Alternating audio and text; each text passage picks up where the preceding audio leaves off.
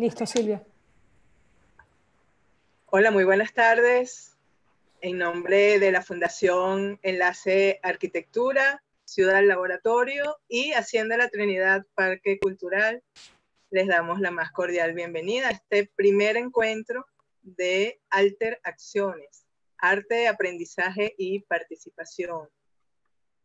Este evento se realiza en el marco de la exposición Ciudad Completa, La Palomera, Reconocimiento y Celebración que se exhibe en la Casa de Hacienda, lamentablemente en este momento temporalmente cerrada al público por medidas preventivas por COVID-19. Sin embargo, muchas de las actividades que estaban programadas se han venido desarrollando en estas plataformas virtuales y hoy comenzamos un encuentro que va a tener dos jornadas con invitados muy importantes que realmente van a compartir con nosotros eh, miradas diferentes, experiencias diferentes vinculadas a las prácticas artísticas, al activismo, a la gestión cultural y siempre vinculados a proyectos de transformación social. Eh, la Fundación Enlace Arquitectura, Ciudad Laboratorio, en alianza con la Fundación Bigot, la Alcaldía de Baruta y Hacienda La Trinidad Parque Cultural, han realizado esta exposición que muestra los resultados del programa Interacción en Proceso Caracas, que llevó aproximadamente más de año y medio de proyectos que convocaron de, forma muy libre artistas, paisajistas, arquitectos, fotógrafos. Fue realmente una convocatoria multidisciplinaria y esos resultados pueden verse en la muestra realmente en un esfuerzo, en un ejercicio de sistematización muy importante. Esa exposición eh, es recibida por de la Trinidad como un espacio que además dialoga con todos esos proyectos desde nuestros ejes de desarrollo como son pues la historia, la naturaleza, las artes y una experiencia que para nosotros también ha representado valores compartidos, pues de alguna manera enfatiza todo un esfuerzo por en la Hacienda de la Trinidad pues tener una responsabilidad social mucho más allá de lo que normalmente pues las organizaciones deberíamos tener, pertenencia social con nuestro entorno, obviamente. Pero además también nos ayuda a fortalecer, valorizar todos esos esfuerzos desarrollados en el ámbito de la cultura y la educación. Y mucho más allá, digamos, de estos momentos de la pandemia, sino mucho más allá mirando hacia un momento de país sumamente complejo y en un momento cuando más se necesita pues, de la cultura y la educación.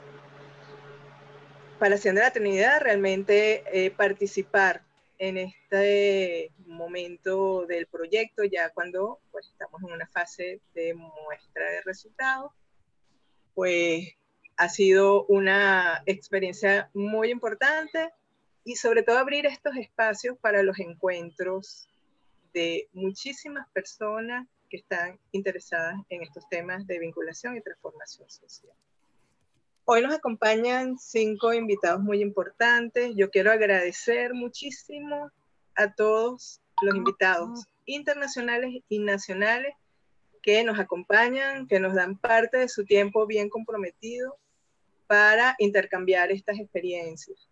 Muchísimas gracias. Y también a todos los participantes, a las personas que se han acercado, que nos acompañan hoy como público y como realmente personas interesadas en el tema.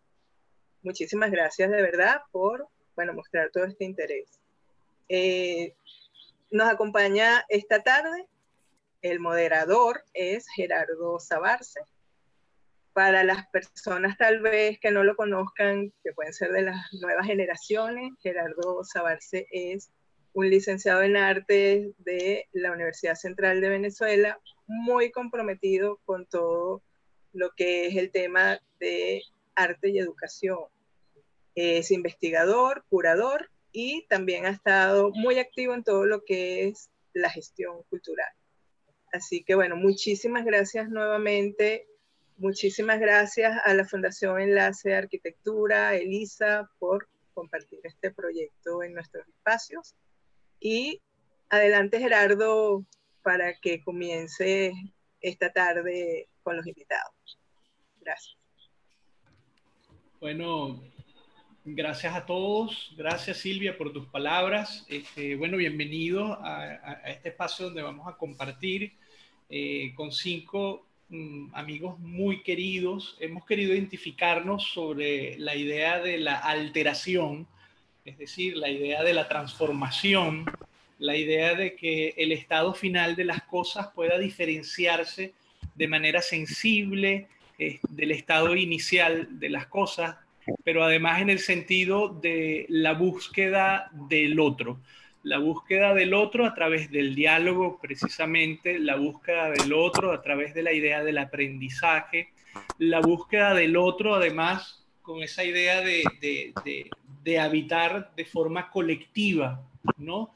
Eh, de entender la ciudad eh, eh, como ese espacio y esa situación colectiva, utilizando la metáfora de nuestro amigo Bill Kelly, que hoy nos acompaña también y que va a estar con nosotros la semana que viene, bueno, de poder compartir. Hemos estado trabajando sobre estas perspectivas Em, desde hace ya algún tiempo, lo hace la Hacienda La Trinidad, lo hace también en el equipo de Enlace Arquitectura, lo venimos haciendo desde Ciudad Laboratorio, que es, digamos, la agrupación la cual yo formo parte también y, estoy integrado. Y, y bueno, que quisimos de alguna manera no solamente hablar de la experiencia de Ciudad Completa, eh, que es la experiencia que nosotros acabamos de, vivir en La Palomera, la experiencia que se está exhibiendo, sino que quisimos invitar a otras personas, como es el caso, por ejemplo, de nuestra queridísima amiga Michelle Ortiz, eh, que ha estado con nosotros en Venezuela y que nos ha enseñado muchísimo en el trabajo con las comunidades a partir y a través del arte. Este, a trabajar no para las comunidades ni hacia las comunidades, sino desde las comunidades y con las comunidades.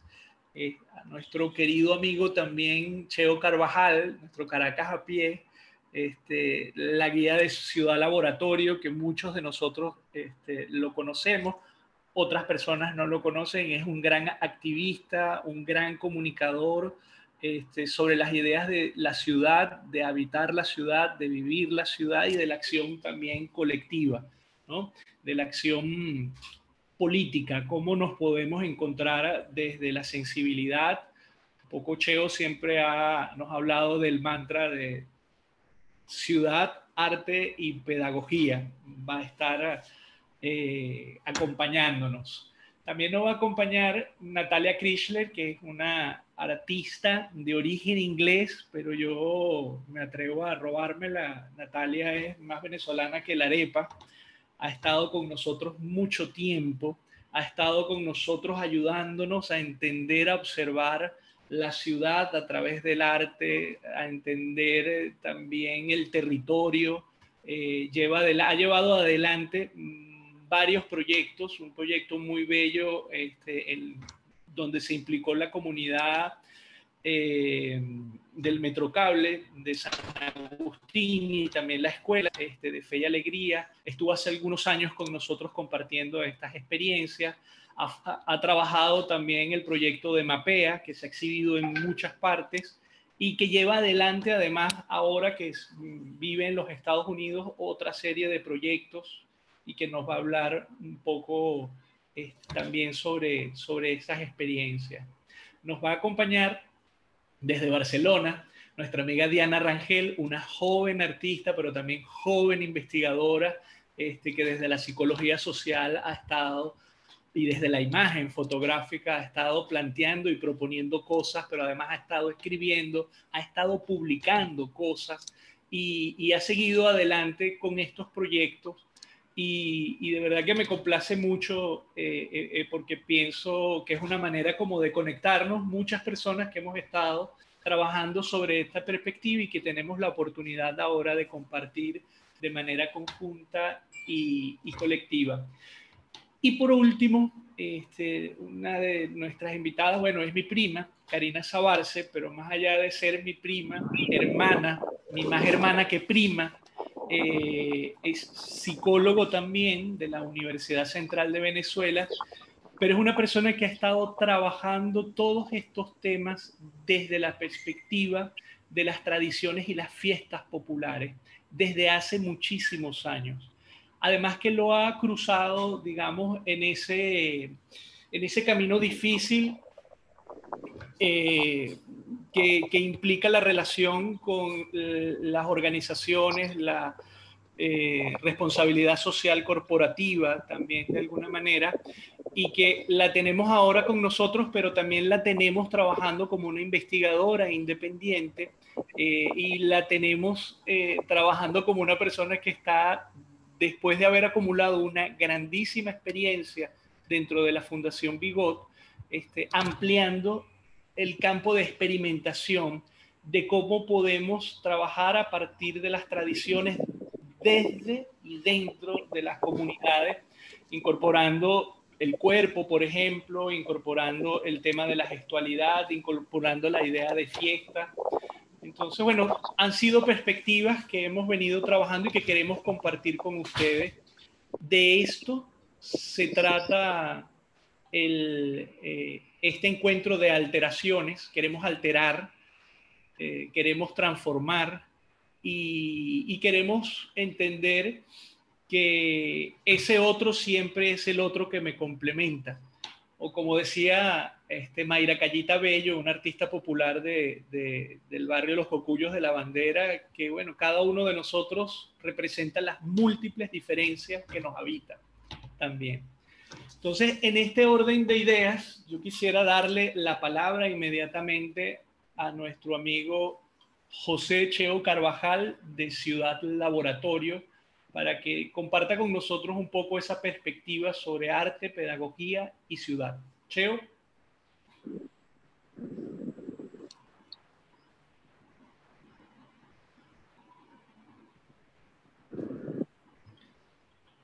¿No está conectado? Ya, ahora sí, ahora sí. Tenía el micrófono apagado. Ok. Bueno, buenas tardes, gracias. Eh, me, me, me contenta mucho estar aquí entre toda esta gente, eh, aunque sea virtualmente gente, y bueno, y, me, me, contenta mucho compartir hoy con, las personas que Gerardo presentó. Con todas de alguna manera hemos trabajado, hemos estado cerca, eh, o, por lo menos eh, se han creado unos, unos vínculos que, que, son unas puertas abiertas para, para desarrollar trabajo juntos. Me refiero al caso, por ejemplo, de Diana Rangel, que, con quien muchas ganas de, de, trabajar así, de investigar y, de desarrollar proyectos juntos. No hemos tenido esa oportunidad, apenas la he entrevistado una vez. Eh, pero bueno, con todos los demás, con Natalia, con el proyecto Mapea, desde hace ya unos cuantos años trabajando juntos, con Michelle apenas una, una relación eh, unos primeros acercamientos, pero ya Gerardo sí había trabajado mucho con ella. Un primer acercamiento con el proyecto del Calvario Puertas Abiertas, una, una experiencia comunitaria interesante para desarrollar murales eh, de manera colectiva, colaborativa.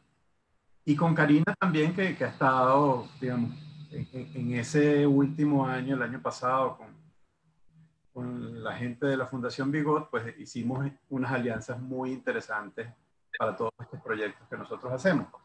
Eh, yo quiero empezar diciendo, una, contando una, una, mínima anécdota que creo que ya la he contado otras veces, pero me parece que es importante. En el, evento que realizamos en, el, en mayo del año pasado, Ilumina, que lo llamamos de Más Noche Caracas, que se regía, por supuesto, por, por esta misma tríada que, señala Gerardo y que nos, que nos vincula desde hace unos cuantos años de arte, pedagogía y ciudad. Este evento, nosotros nos empeñamos en llevar como visitantes, como, como nuestros invitados, a José González, un líder comunitario del, del Calvario, del barrio del Calvario en el Latillo, a Tiaga, que no sé si está por allí, creo que vi que se estaba intentando conectar, no sé si lo logró. Martina Arteaga de La Palomera, del sector La Cruz de La Palomera. Eh, a William y a su hermano Víctor Díaz, ambos también del sector de La Cruz. Los invitamos a que formaran parte de ese evento, pero como, como unos, no, no, no como unos actores, eh, digamos, ellos no iban a presentar nada, no iban a desarrollar ningún acto ellos estaban como invitados para estar en Colinas de Bellomonte. Es decir, un sector donde normalmente no, no lo visitan y, y que probablemente lo sientan muy distante por distintas razones, entre ellas el transporte, por ejemplo.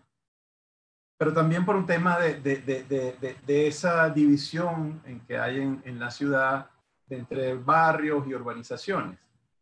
Cuando yo les planteé a ellos y a Martina que estuvieran, que nos acompañaran ese día, la respuesta fue inmediata. Fue así como, claro, pero por supuesto, nosotros vamos a estar allí.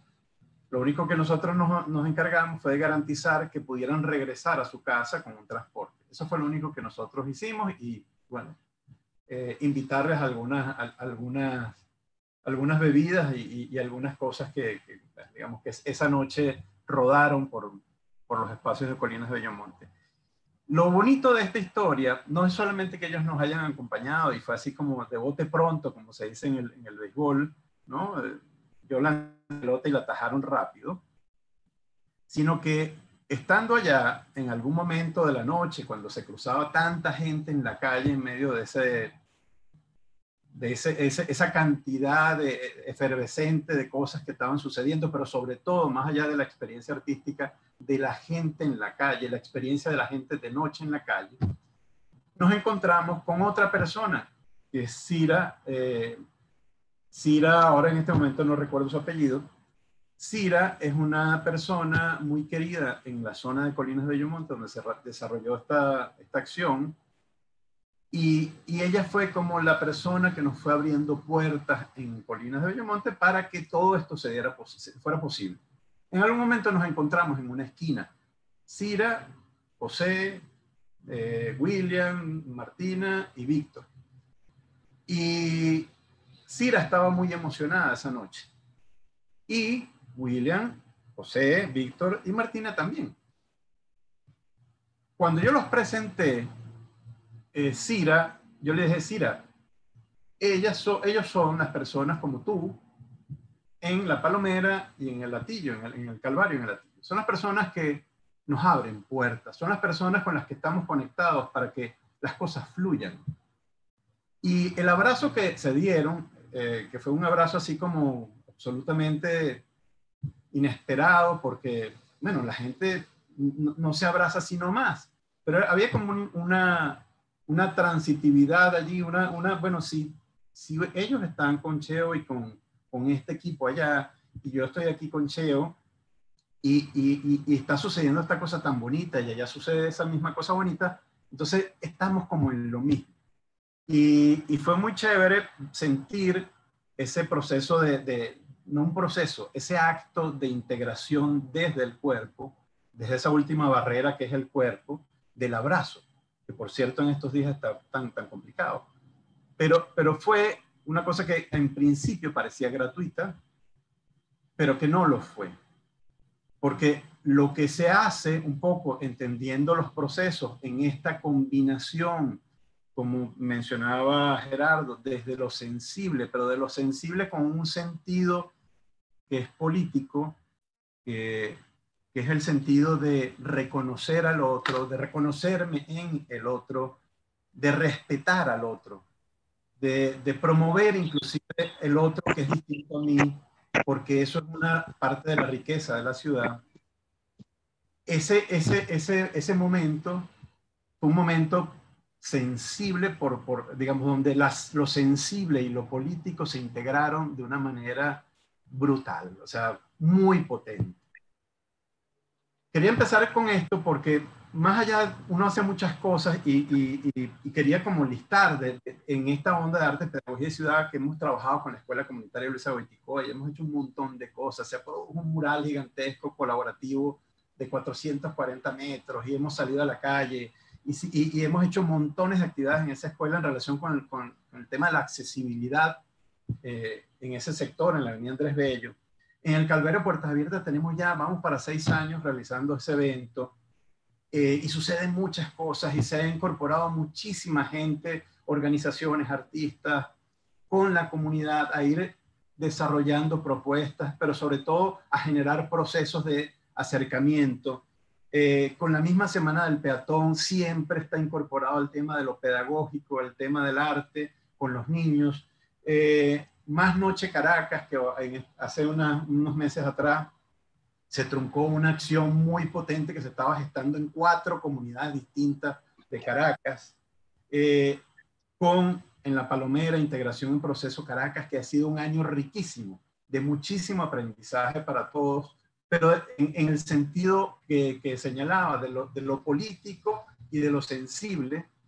Eh, inclusive otra que, que, últimamente no menciono porque estoy un poco distante de ella, pero Acción por la Vida, que es una que tiene que ver con el reclamo por el derecho a la vida eh, ante tanta muerte injustificada que, tenemos nosotros en este país.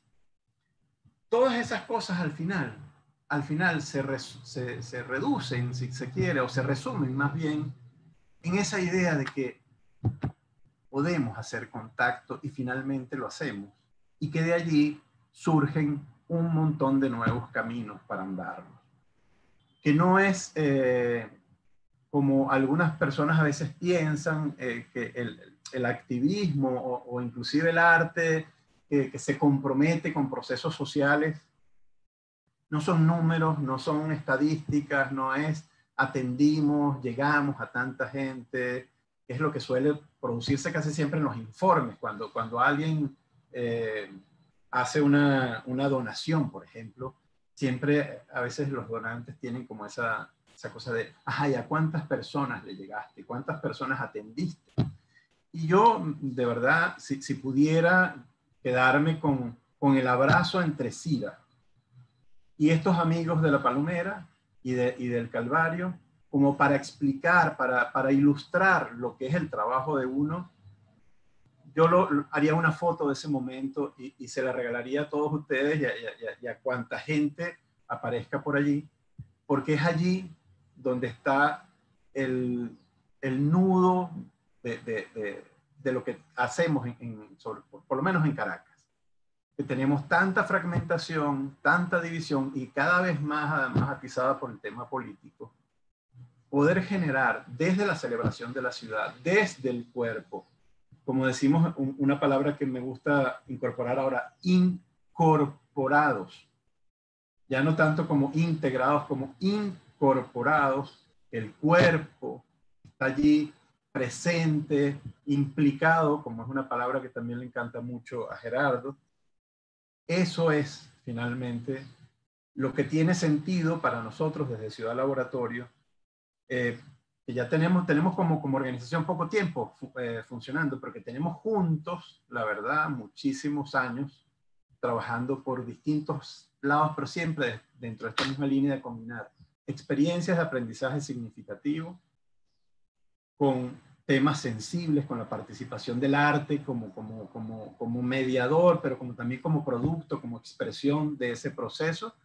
Y por supuesto siempre entendiendo que nosotros habitamos en, esta complejidad que es la ciudad, donde reivindicar la diversidad es lo que más sentido le da ahora a la ciudad. En este momento en que estamos tan replegados la ciudad está a veces tan vacía, empezamos a, darnos cuenta del sinsentido que tiene toda esa gran infraestructura sin nosotros. Y sin nosotros mezclados en esos espacios.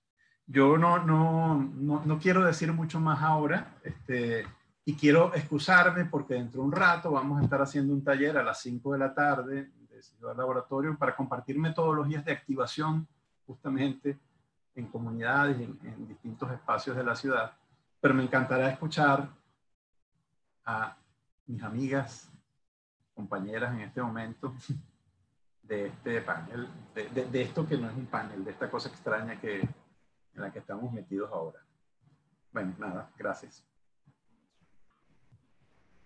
Gracias, Cheo, por, por ese abrazo como metáfora que yo creo que, que es algo excelente y maravilloso. A, bueno, a quienes nos sigan a Cheo a través de las redes sociales, eh, creo que podría ser muy eh, significativo todo el trabajo que realiza de forma individual, pero bueno, también puede seguir eh, en las redes sociales el, trabajo que estamos haciendo desde Ciudad Laboratorio. yo creo que allí se puede ver un poco más de, de las redes y los abrazos que intentamos tejer entre, entre muchos actores. Eh, y bueno, y puede ampliar un poco lo de Cheo.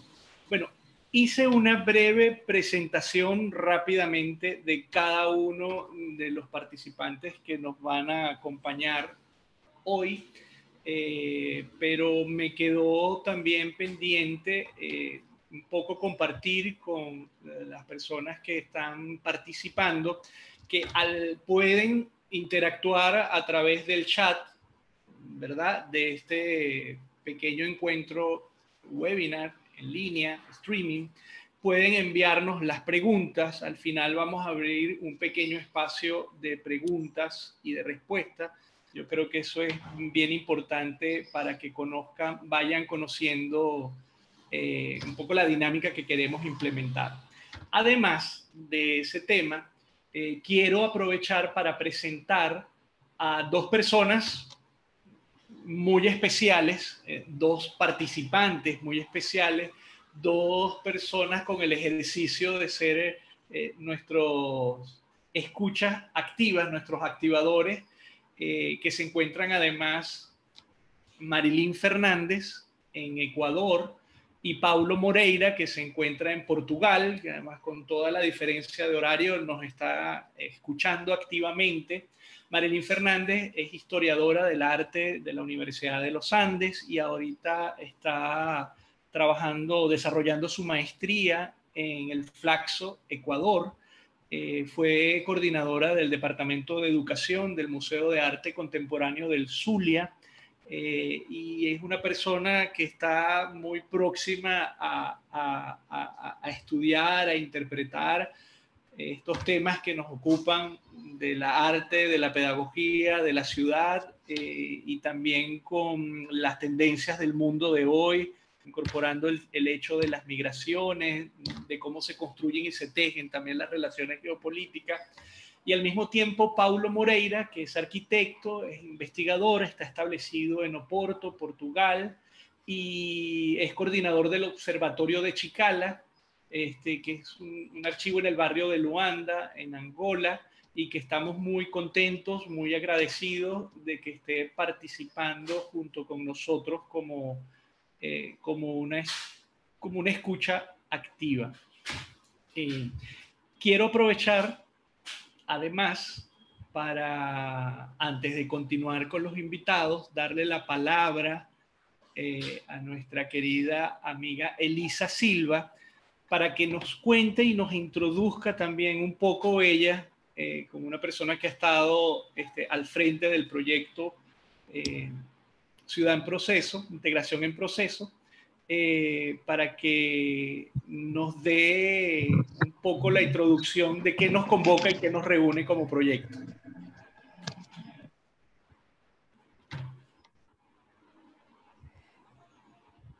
Muchas gracias, Gerardo. Este, bueno, buenísimo, gracias. Entro en materia entonces y les comparto eh, la pantalla para una brevísima presentación.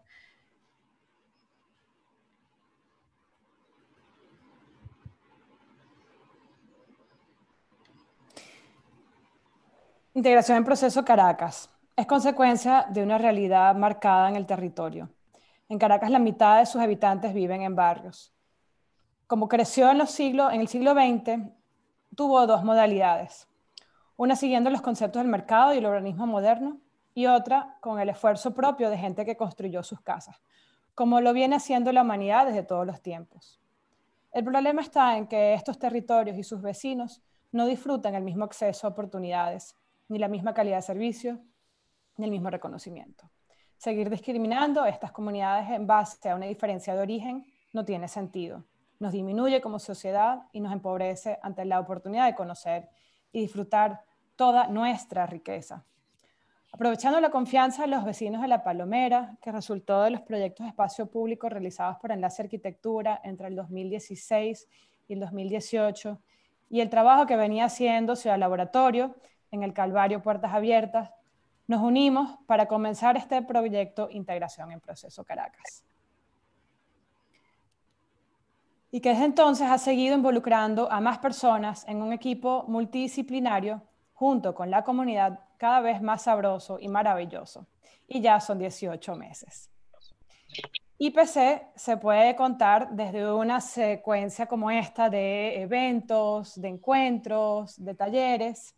Por ejemplo, los siete encuentros de arte, pedagogía y ciudad, donde leímos el manifiesto de la ciudad completa, cantamos décimas, bailamos, caminamos, jugamos bolas criollas, recorrimos los jardines y reconocimos a los fundadores de la comunidad. Y pasé también el trabajo de cuatro talleres, arte y comunidad, realizados por el equipo de, ensayo colectivo, María Alejandra Orozco y Harold Palacios, Laboratorio Ciudadano con Dora Peña y María Fernanda Absueta, el taller eh, Verde con Ámbar Armas y Gabriel Nas, y Cuadernillos de Cordel con Ámbar Armas, Gabriel Pérez, Wifer Márquez y Paola Mercado. IPC es también contar nuestros grandes eventos como la Cruz de Mayo, que fue el primer momento donde vivimos una participación extensa de la comunidad y una emoción que nos conmovió a todos y que ahora quedará como nuestra fecha fija de reencuentro con nuestros amigos en La Palomera. Y de hecho, hace unas semanas lo volvimos a celebrar en cuarentenados desde Zoom con décimas música y tambores. Luego vino el evento Nada fuera lo común, en este espacio inexplicablemente abandonado, detrás de la casa de todos, justo en el umbral entre el pueblo de Baruta y La Palomera, que descubrimos un 12 de octubre y convertimos en la sede de una gran fiesta, una mezcla de danza, música, proyecciones, sancocho, gaitas, niveles casi sublimes de energía y gozo, entre niños que jugaban, adultos de tercera edad que bailaban, como si bailar fuera lo único que se puede hacer cuando se siente tanta felicidad y compenetración. Quedará como mi día favorito del 2019 sin duda. La exposición en la Hacienda La Trinidad recoge y sintetiza toda esta experiencia y lo comparte con un nuevo público. Los vecinos de La Palomera han desbordado su riqueza con valiosos aprendizajes para el resto de la ciudad. Pero IPC no debe ser explicado como una sucesión de eventos sino como algo que modestamente debo formular como un antes y un después en nuestra forma de ver y comprender la ciudad. De hecho, ahora se recoge la basura en la palomera puerta a puerta, así como sucede en el resto de la ciudad, gracias a Pospuca y la alcaldía Baruta.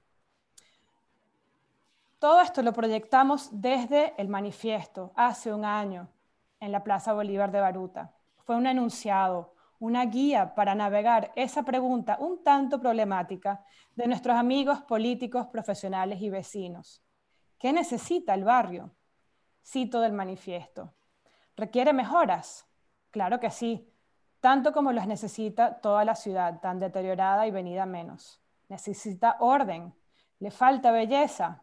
Creo que IPC ha mostrado de forma contundente que belleza le sobra. Necesita ser intervenido, el barrio no es ni un enfermo ni una enfermedad. ¿Qué entonces necesita el barrio? Reconocimiento. Necesita reconocimiento desde dentro y desde afuera como parte de la ciudad. Creo que IPC es eso, un antes y un después de reconocimiento a nuestros vecinos de la ciudad, un reconocimiento del territorio, de la historia y de nuestras relaciones que pasa a ser una suerte de trampolín para impulsarnos en la integración de Caracas. Avanzar un poco más en ese proceso de pensar y construir la ciudad completa. Muchas gracias. Bravo. Muchas gracias. Bueno, listo, anfitrión y moderador. Ya, sí. Este, bellísimo, Elisa. Gracias por esa introducción a lo que, lo que fue, lo que es, además, lo que ha sido y lo que es el proyecto eh, Ciudad Completa. Eh, estamos muy contentos de tenerlos, bueno, de tener toda esta participación quiero recordarles además que, bueno, que pueden a través del chat brindarnos sus comentarios, hacernos sus preguntas. Eh, yo creo que, es muy importante eh, eh, porque, bueno, creemos indudablemente en la participación. Nuestra próxima participante es una persona a quien yo quiero muchísimo, quiero particularmente, estuvo con nosotros en Venezuela trabajando gracias a un proyecto que llevamos adelante con el apoyo y de la mano de la Embajada Americana hace ya unos seis años. Este, de hecho, se inauguró la intervención que hicimos en un espacio público en, en, la ciudad de Caracas el día que nació mi hijo. O sea, yo estaba en la clínica y se estaba inaugurando los murales de Michelle Ortiz Michelle es una artista que ha tenido una clara perspectiva de trabajo con comunidades, además en distintos países, eh, una amplia experiencia. Aprendimos mucho trabajando junto a ella y, bueno, quiero que se prepare nuestra amiga Michelle para que nos comente un poco de qué va su trabajo, de qué va sus inquietudes y, y de qué va su sensibilidad Tienes la palabra, Michelle. Es todo tuyo el streaming. Gracias. Bueno, primero que todo, gracias por la invitación y estar aquí con ustedes. Me da mucha esperanza sabiendo que todas estas acciones y actividades se están haciendo no nada más en Venezuela, pero en diferentes partes del mundo y, también los que nos acompañan. Saludos. Em, yo estoy hablando desde Filadelfia, Pennsylvania, que está en el norte de los Estados Unidos. Mi casa es la casa de mi madrina, que era una de las primeras puertorriqueñas que eh, vivió en lo que viene siendo aquí, era un vecindario mayormente de inmigrantes italianos. mis papás, em, quiero compartir todo esto porque em, tiene mucho que ver en mi perspectiva como artista en el trabajo que yo hago en la comunidad. Em, mi mamá es momposina, es de, del Caribe, de Colombia, de la costa. Eh, vengo de esa herencia de mujeres muy poderosas ah, con descendencia indígena y, y, africana, aunque me veo muy catira, como dicen ustedes. Ah, y de parte de mi papá vengo de eh, Pesas, mi papá es de Pesas Ciales ah, en Puerto Rico, donde también es Antonio Correger, que fue uno de los puertorriqueños que ah, fue poeta y también trabajó para ah, la liberación e independencia de Puerto Rico, de, de, que no sea, que, que Borinquen sea una, una isla y un país solo, solitario, en vez de ser una colonia como lo es ahora. Eh, y pues también lo que quiero que entiendan de Filadelfia, vivo en la ciudad donde tenemos la campana de libertad, donde tenemos todos estos, todas estas em, estatuas, imágenes, frases de independencia, de libertad. Eh, tenemos eh, la declaración de independencia, o sea, lo que viene siendo la fundación de nuestra democracia eh, democracia en los Estados Unidos aquí en esta ciudad. Así que, em, y para que, dar más contexto, yo vivo, como le dije, eh, mayormente no nada más entre las comunidades italianos inmigrantes, pero en una comunidad de familias inmigrantes. Así que yo crecí ah, y todavía tenemos el mercado abierto, uno de los mercados abiertos más ah, antiguos para nosotros, 100 años donde todavía venden verduras, frutas, así como en Colombia, así como en Venezuela, así como en Puerto Rico. pues es muy, distinto, es muy distinto en nuestra ciudad de tener algo así. Así que traigo toda esa riqueza y traigo todas esas perspectivas en el trabajo que yo hago porque lo que veo es que el arte, especialmente en espacios públicos, ah, viene siendo una herramienta que puede representar em, no nada más nuestras historias, nuestras, nuestras culturas, pero también los momentos que estamos viviendo. O sea, ahorita mismo aquí en Filadelfia hemos tenido manifestaciones grandes para el movimiento de Black Lives Matter, uh, que ha estado pasando por todos los Estados Unidos.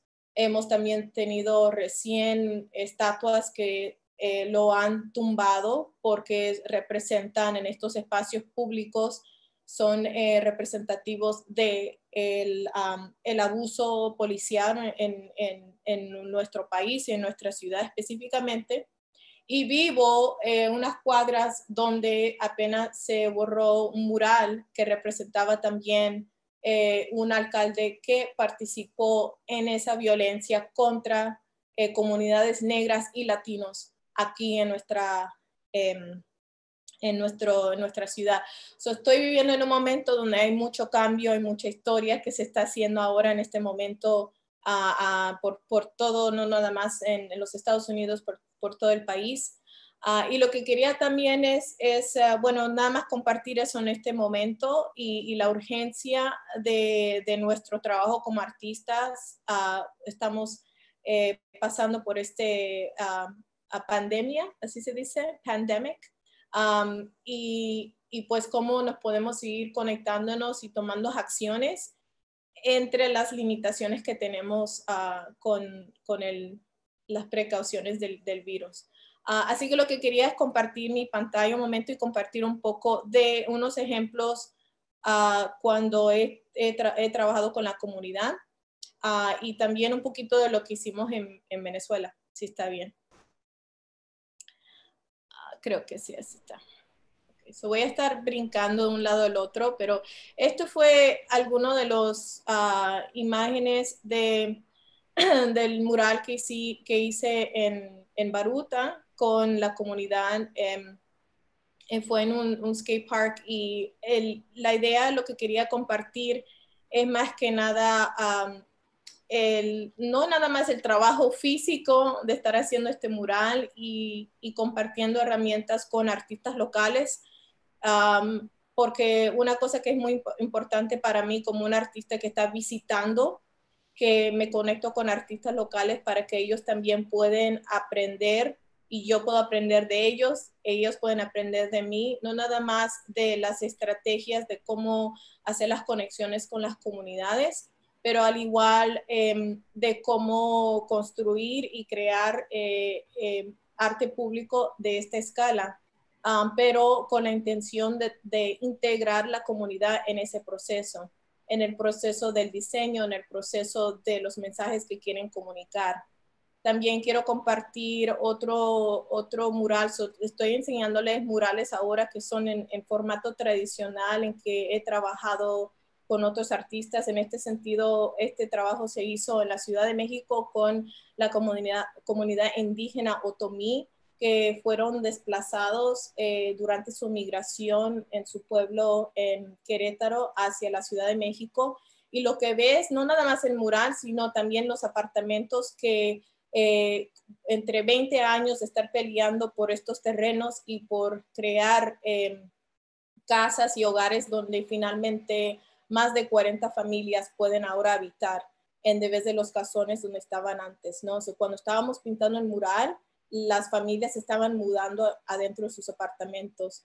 Y fue también el tejido, eh, como es, tradicional de los otomís y presentando cada etapa ah, de su migración y ah, también reforzando su idioma natal que es ñaño. Ah, es, es en, en, un sentido tratando de crear murales que representa historia, cultura, el lenguaje y a la misma vez con la participación de la comunidad, ¿no? Ah, como le estaba diciendo, no nada más en, la pintada, sino en el desarrollo del diseño, de qué queremos decir, cómo lo queremos decir, especialmente en la Ciudad de México, donde ah, hay muchos estereotipos hacia la comunidad indígena, cómo podemos reclamar este espacio y decir, esto es, esto somos nosotros, ¿no? No esperarte que alguien más nos diga quiénes somos. En 2013 eh, fue el tiempo que estaba en Venezuela, que al igual el año después, en 2014 fue cuando nació mi hijo, Amado, pero fue durante también este tiempo, eh, muy poco después que estuve en Venezuela, ya estaba desarrollando un proyecto que se llama Familias Separadas, que ya sigue en su tercera etapa. La primera etapa fue unas instalaciones que ves aquí, Ah, que hice en la ciudad de Filadelfia, como lo estaba comentando, con todas estas imágenes y monumentos hacia la libertad, pero a la misma vez tenemos 50 mil personas viviendo en nuestra ciudad que son indocumentados. Tenemos eh, esta comunidad que no siempre esté representado en los espacios públicos. Este, esta imagen que ves aquí, este círculo, está justo en el centro de la alcaldía en nuestra ciudad y el compás marca el centro de nuestra ciudad.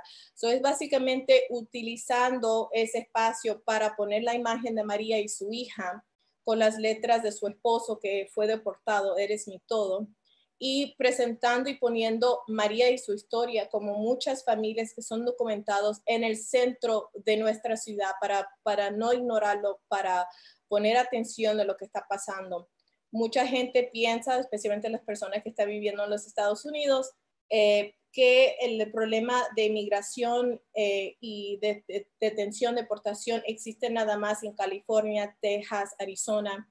La realidad es que esto está por todo el país, ¿no? Y también en nuestros otros países igual, ¿no? y cuando hablo acerca de esto específicamente en el norte, este, es tratando de utilizar espacios públicos donde, por ejemplo, aquí en el Love Statue que hizo Robert Indiana, un artista americano, donde la gente se sacan selfies y están ahí con su familia. Tenemos una cadena de una mamá que es hondureña y ella habla en su historia, porque cada obra tiene su historia, qué pasa con el amor cuando estás forzado de irse o de, de irse de su país, de irse de su casa y también este fue aquí en mi vecindario, que fue otra imagen de escala grande. So, la idea era de plasmar todas estas, todas estas imágenes sobre el suelo como si fuera un mapa. Y aquí quiero compartir un poco de la instalación que se hizo recién, no sé, sé que fue una imagen viral, que un video viral que pasó ahorita de Black Lives Matters en Washington, D.C. Esta obra lo hice en 2015 um, enfrente del edificio de inmigración de Immigration Customs Enforcement Building, aquí mismo en la 16 y Callow Hill. Uh, mientras que los agentes de ICE no miraban, eh, pude reunir 30 uh, participantes voluntarios, que también uh, era una mezcla de abogados, activistas eh, y familias que son documentados Ah, y con sus hijos y juntos pusimos ah, la imagen We are human beings risking our lives for our families and our future, que viene de una frase de una mamá que estuvo en detención en el Berks Detention Center. perdón que estoy, esta es una imagen allí del, del, de la, del trabajo que hice unos años después Ah, que fue en 2019, no, perdón, 2018. también hice una instalación enfrente de uh, el capital, el Capitolio en Harrisburg de nuestro estado. Lo que tenemos aquí en el estado de Pennsylvania es uno de tres prisiones familiares y es lo que es. Eh, ellos encarcelan familias, niños tan jóvenes de nueve meses o nueve semanas, perdón, con sus papás. Eh, y son personas que vienen de todas diferentes partes del mundo tratando de cruzar y buscando asilo. Y, ah, y eh, la imagen que ves allí, y voy a ver si puedo sacar la imagen otra vez, perdón, Ah, la imagen que ves aquí eh, viene siendo los ojos de Karen y su hijo Steven, que estuvieron detenidos por dos años y después ah, fue, em, fue deportada a El Salvador. Uh, la idea era de crear estos, estas instalaciones monumentales para crear visibilidad y conciencia de lo que está pasando específicamente en nuestra ciudad.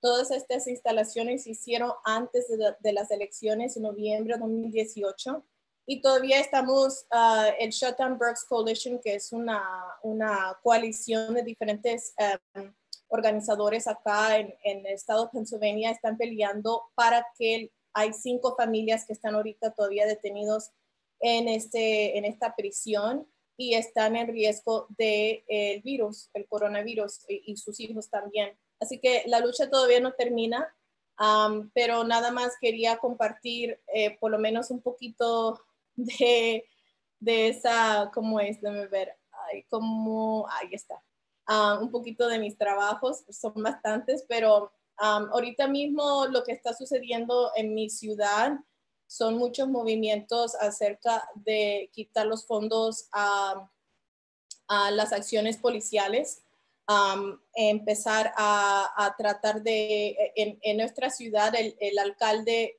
eliminó todos los fondos para arte y cultura.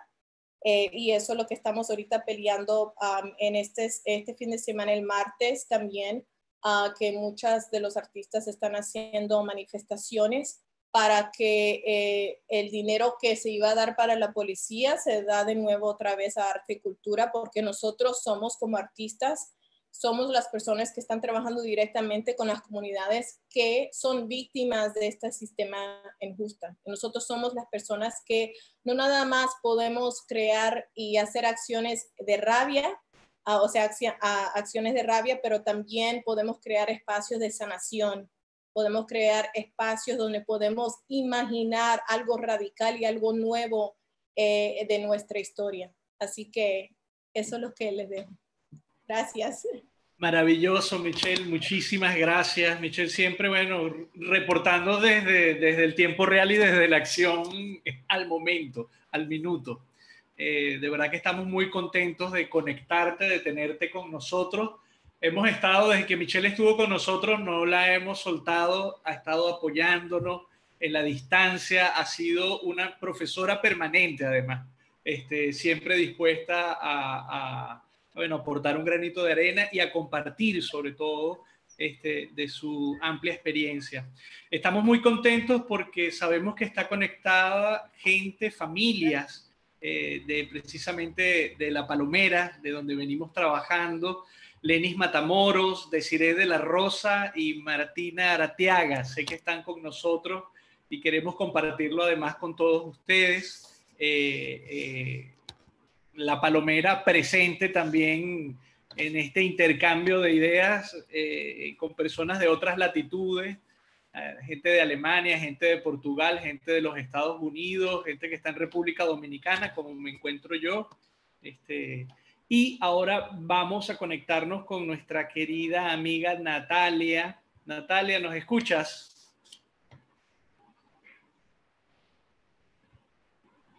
Ya. Hay que darle el mute. El mute. Ok, perfecto. Ya te escuchamos. Bueno, Natalia, somos todos oídos. Este, también somos fans. Te venimos persiguiendo desde, desde Puerto Ordaz. Bueno, a propósito de, de, esas largas andanzas que uno tiene este, y, las circunstancias actuales que han sido un poco de vida monasterial en, el encierro, bueno, en mejor espacio no, podría ser, este es mi estudio aquí en, Michigan, donde estoy viviendo ahora. bueno, y para explicar un poco ese largo viaje de la vida. voy a hacer un pequeño recuento, un poco pasando por,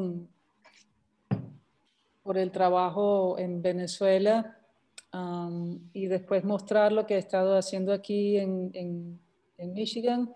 desde finales del año pasado porque hemos, hemos estado trabajando en una, un evento que estaba programado para marzo, tuvo que cancelarse o posponerse por ahora, pero es un evento para presentar un poco la cultura y, la realidad de Venezuela al pueblo de Kalamazoo y de Vicksburg, que es el, pueblo donde estoy en Michigan.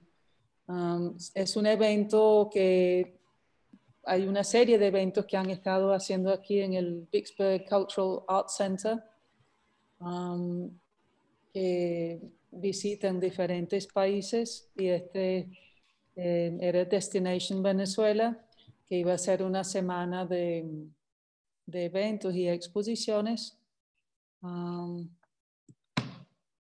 y bueno, esperamos compartirlo en, septiembre. Pero bueno, aquí voy a compartir mi presentación. A ver, aquí.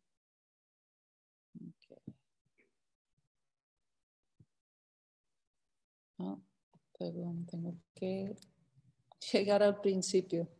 Bueno, este es eh, el, el, espacio donde tengo mi taller en Vicksburg, que he estado trabajando con un proyecto muy interesante aquí de mm, una renovación de una vieja fábrica de papel, uh, una edificación enorme que tiene como unos 100 años y bueno, estaba, e, eso es algo muy presente en toda esta zona, hay muchas fábricas de papel en desuso y este estaba programado para derrumbarse y decidieron em, renovar ese espacio. Y dentro de eso tienen toda una serie de espacios en el pueblo que van a ser parte como de un gran conjunto cultural y bueno, promete, promete ser bien interesante. Y por estar aquí cerca, bueno, he podido aprovechar este este espacio como estudio. pero en este, en este tiempo donde hemos, hemos, estado muy aislados y muy encerrados como en el propio trabajo, he estado revisando quizás un poco esos comienzos de desde los 80 en Venezuela y bueno, estaba escribiendo algo sobre eso porque siempre he trabajado con el paisaje y, sobre todo el paisaje urbano, ¿no? Ah, esa interacción de lo construido con, con, lo natural. Yo crecí en Londres, soy de Inglaterra, ah, pero la mayor parte de mi vida adulta lo pasé en Venezuela. Ahora tengo cuatro años en Estados Unidos y uno no sabe dónde estaremos el año que viene, pero es interesante ir comparando experiencias.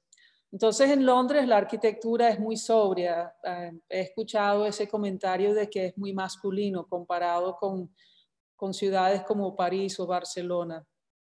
Ah, yo crecí al lado del río Támesis, que no era un río muy, muy atractivo ni muy romántico, pero tenía sus coincidencias con el río Orinoco, donde luego pasé mucho tiempo.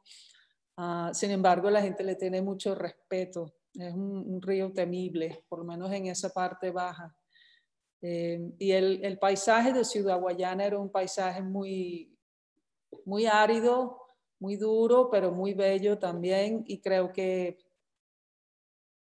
era interesante ese contraste con, con el mundo industrial que es tan, tan fuerte y tan dominante también. Y bueno, aquí en Estados Unidos ahora eh, veo muchos reflejos de esa arquitectura inglesa en, en, diferentes estilos arquitectónicos, sobre todo las más antiguas. Eh, y bueno, estoy rodeado de eso aquí. Pero bueno, como decía, me, siempre me ha intrigado mucho el paisaje urbano y su relación con el paisaje natural. Ah, no sé cómo quito esto un poquito para leer lo que escribí. No. Ah,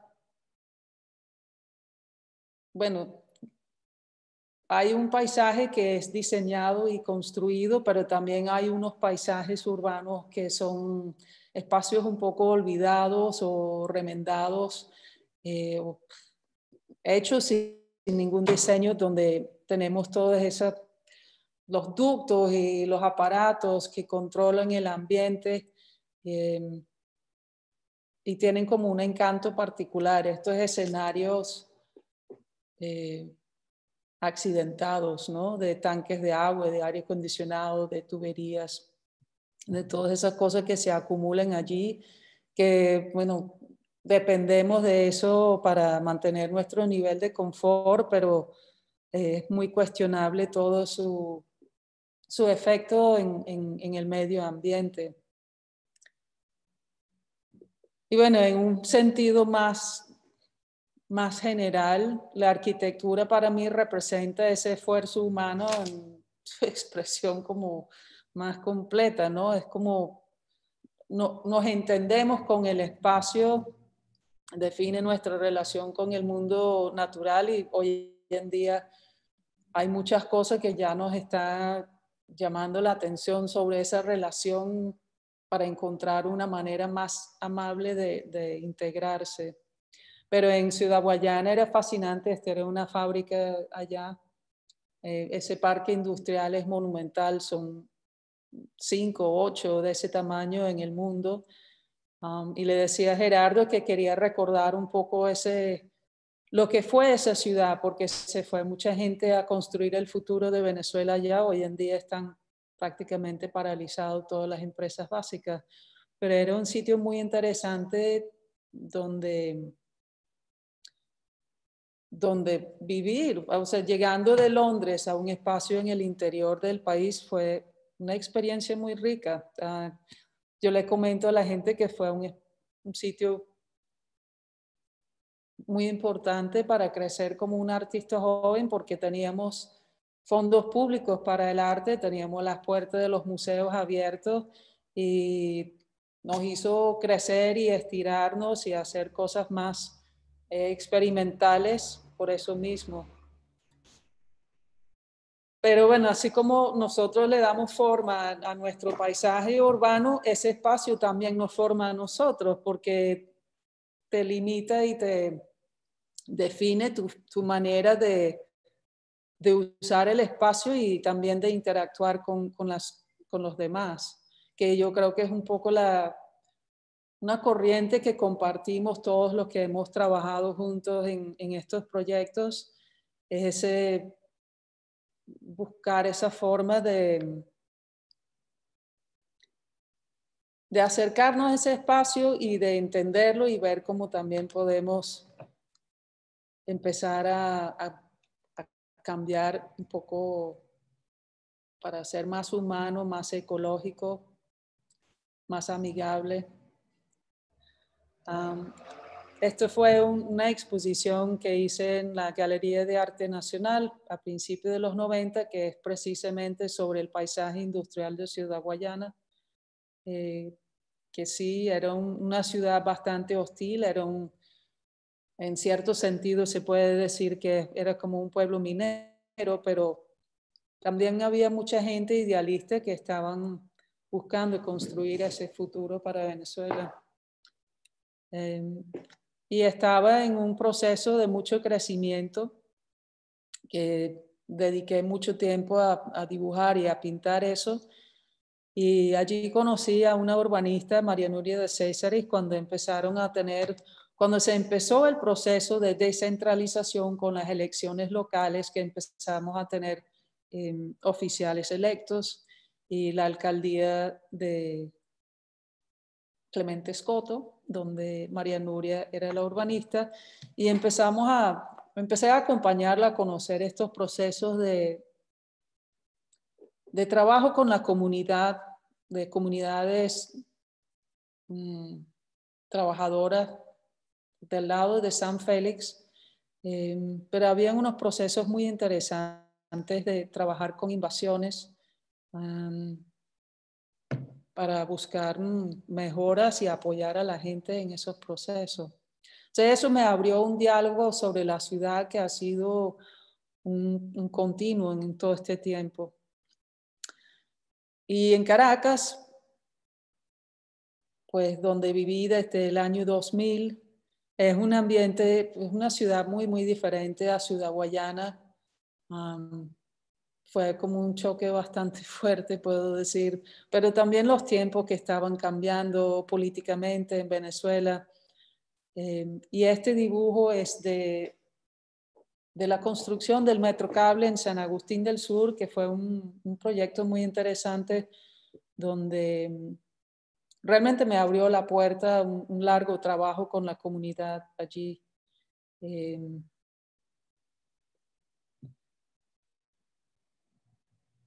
y lo interesante de, el, cerro de San Agustín del Sur es que está en el medio del Valle de Caracas, pero a la vez estando allá arriba era un mirador increíble porque podías ver todo alrededor, todos los barrios se hacían mucho más visibles desde, desde esa altura, podías percibirlos de una manera que normalmente no se veía desde los espacios más abajo. Ah, y realmente la extensión de, de, los barrios se hacía mucho más visible.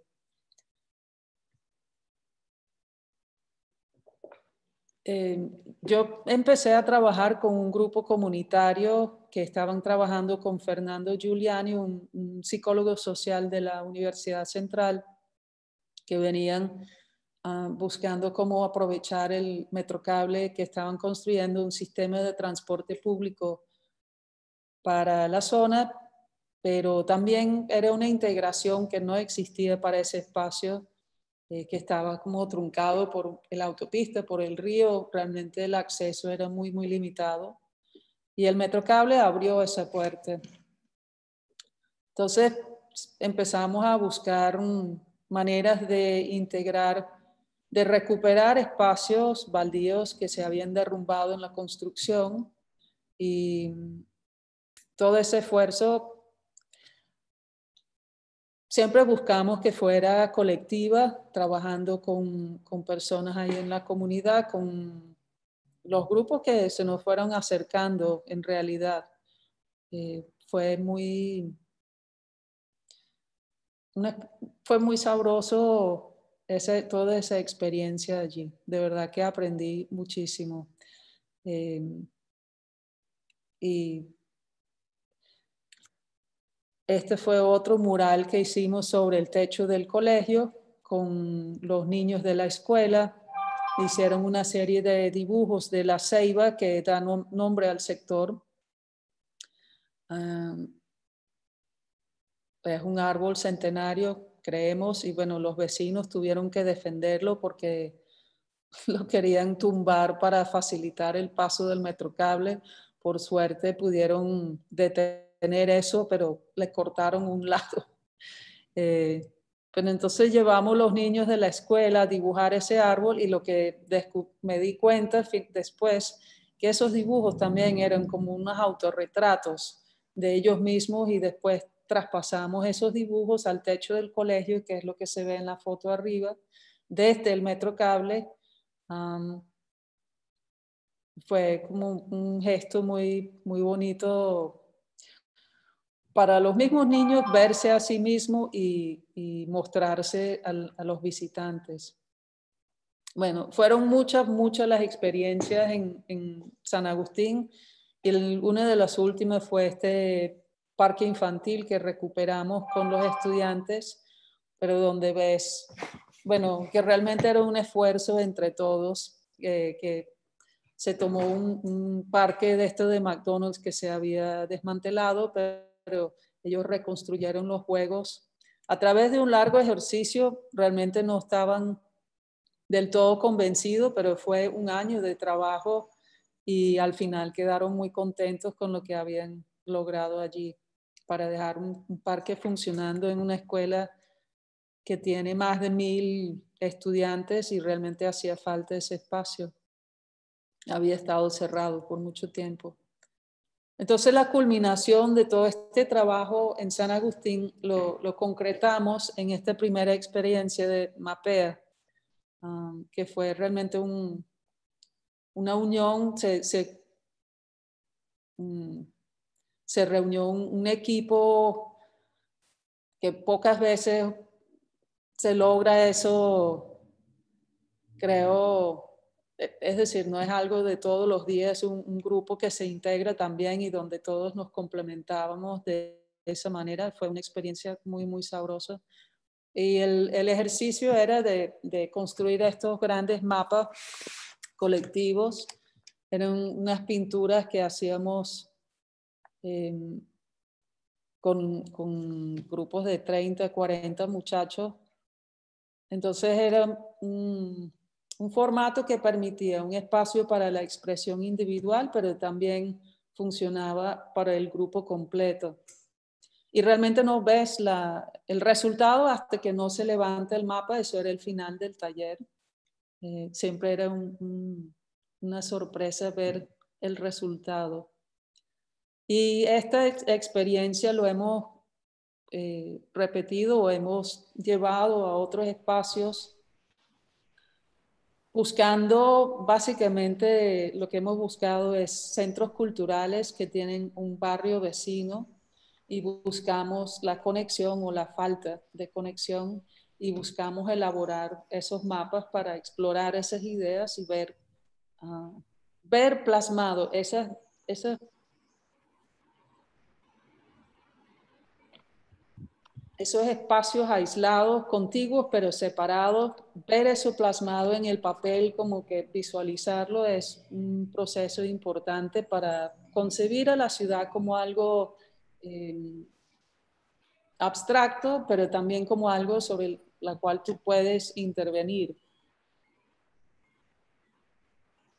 Este esto es una foto de la experiencia en la UCAP y después los mapas aquí en el Centro Cultural desplegado son realmente impactantes en ese formato.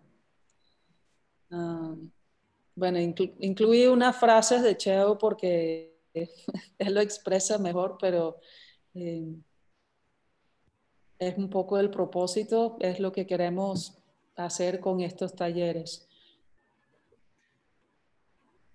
Maravilloso, Natalia, esta experiencia de Mapea. Sí, y ahorita lo que voy a terminar, espero no estar pasando el tiempo. el trabajo que, estamos, que he estado haciendo aquí en, en Michigan. Dale, vamos a darte ese, ese tiempito rapidito que viene nuestra amiga Diana. Ok. Bueno, en Michigan, como les decía, que hemos estado organizando este evento sobre Venezuela y para presentar también la realidad de Venezuela. empezó un poco traduciendo el trabajo de Tulio Hernández desde el Centro de la Memoria de la Migración Venezolana en Bogotá, que ha ido documentando el éxodo a pie de los venezolanos que salen por esa vía, ¿no? Entonces esto revisando ese trabajo y viendo las fotografías y las imágenes tan surrealistas que veíamos de la gente que caminan, que tienen que cargar con sus muebles cruzando un río para salir del país. Eh, bueno, fue un poco una respuesta a eso y es en lo que he estado trabajando aquí en Michigan.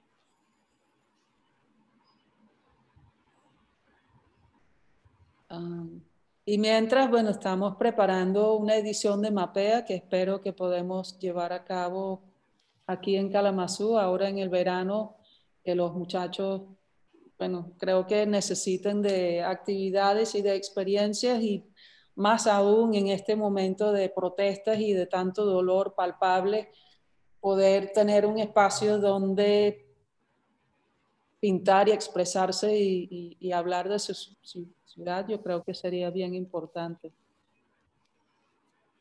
Y este último es sobre un puente, que eso ha sido como una metáfora importante ahorita. Creo que los puentes son más necesarios que nunca, ¿no? Como vía de comunicación, como extender una invitación a los demás a compartir, pero esto son las situaciones que se presentan en los puentes que conectan a Venezuela y Colombia. bueno, eso es lo que hemos estado haciendo. Bellísimo trabajo, Natalia. Muchísimas gracias. Siempre, bueno, siempre ha sido, siempre será además un placer compartir, escucharte, toda esa experiencia, todo ese trabajo, además en diversos lugares, diversos lugares de Venezuela, diversos lugares del mundo, y siempre, bueno, también compartiendo con todos nosotros, llevando al espacio institucional también para, para transformar no solamente el espacio de la comunidad, sino los espacios institucionales. De verdad que muy agradecido. Eh, les convoco a los, a los participantes, bueno, a que nos compartan sus comentarios y puedan hacer sus preguntas también a los artistas y a las personas que, investigadores que, están, que estamos escuchando hoy, que pueden también por el chat compartir sus redes sociales, la página web, para que los participantes, las personas que están conectadas con nosotros puedan acceder a sus trabajos. Yo creo que eso podría ser algo, algo muy significativo.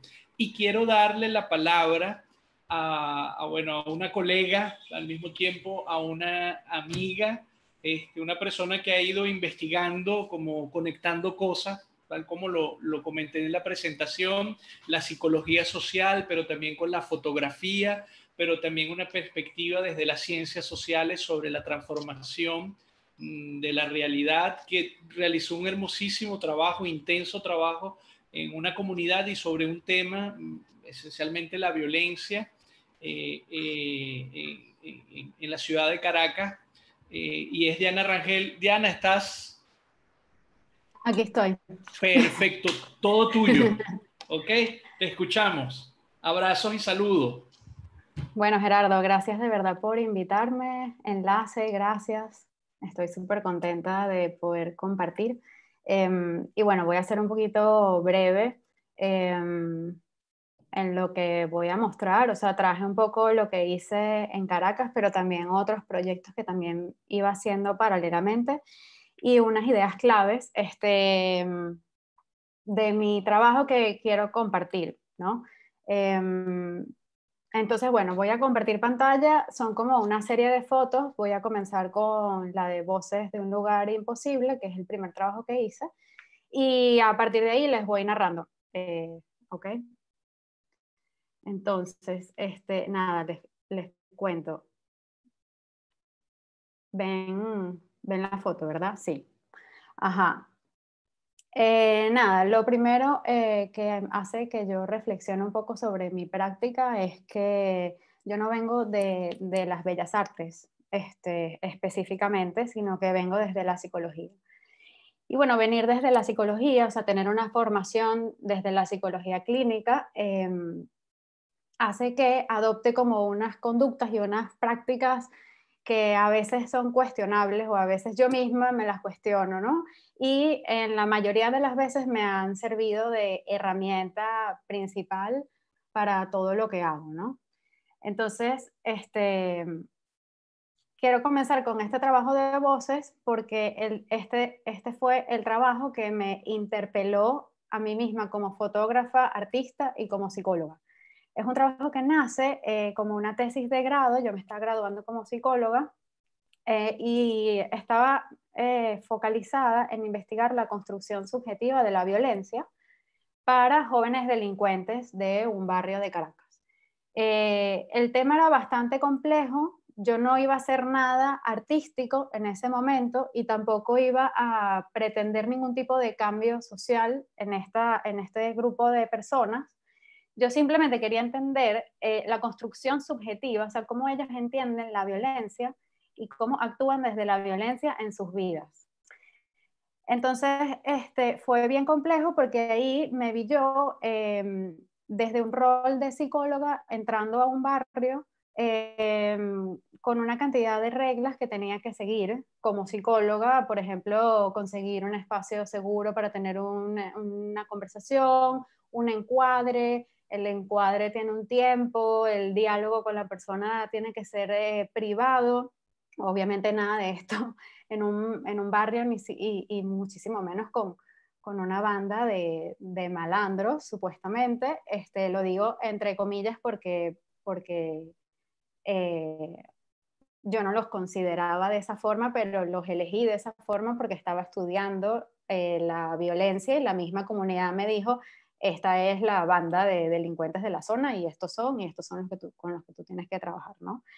Em, pero bueno, nada, yo me vi como en este, en este lío de, de ajá, tengo, que hacer esto, pero tengo que romper todas las reglas desde la psicología, ¿no?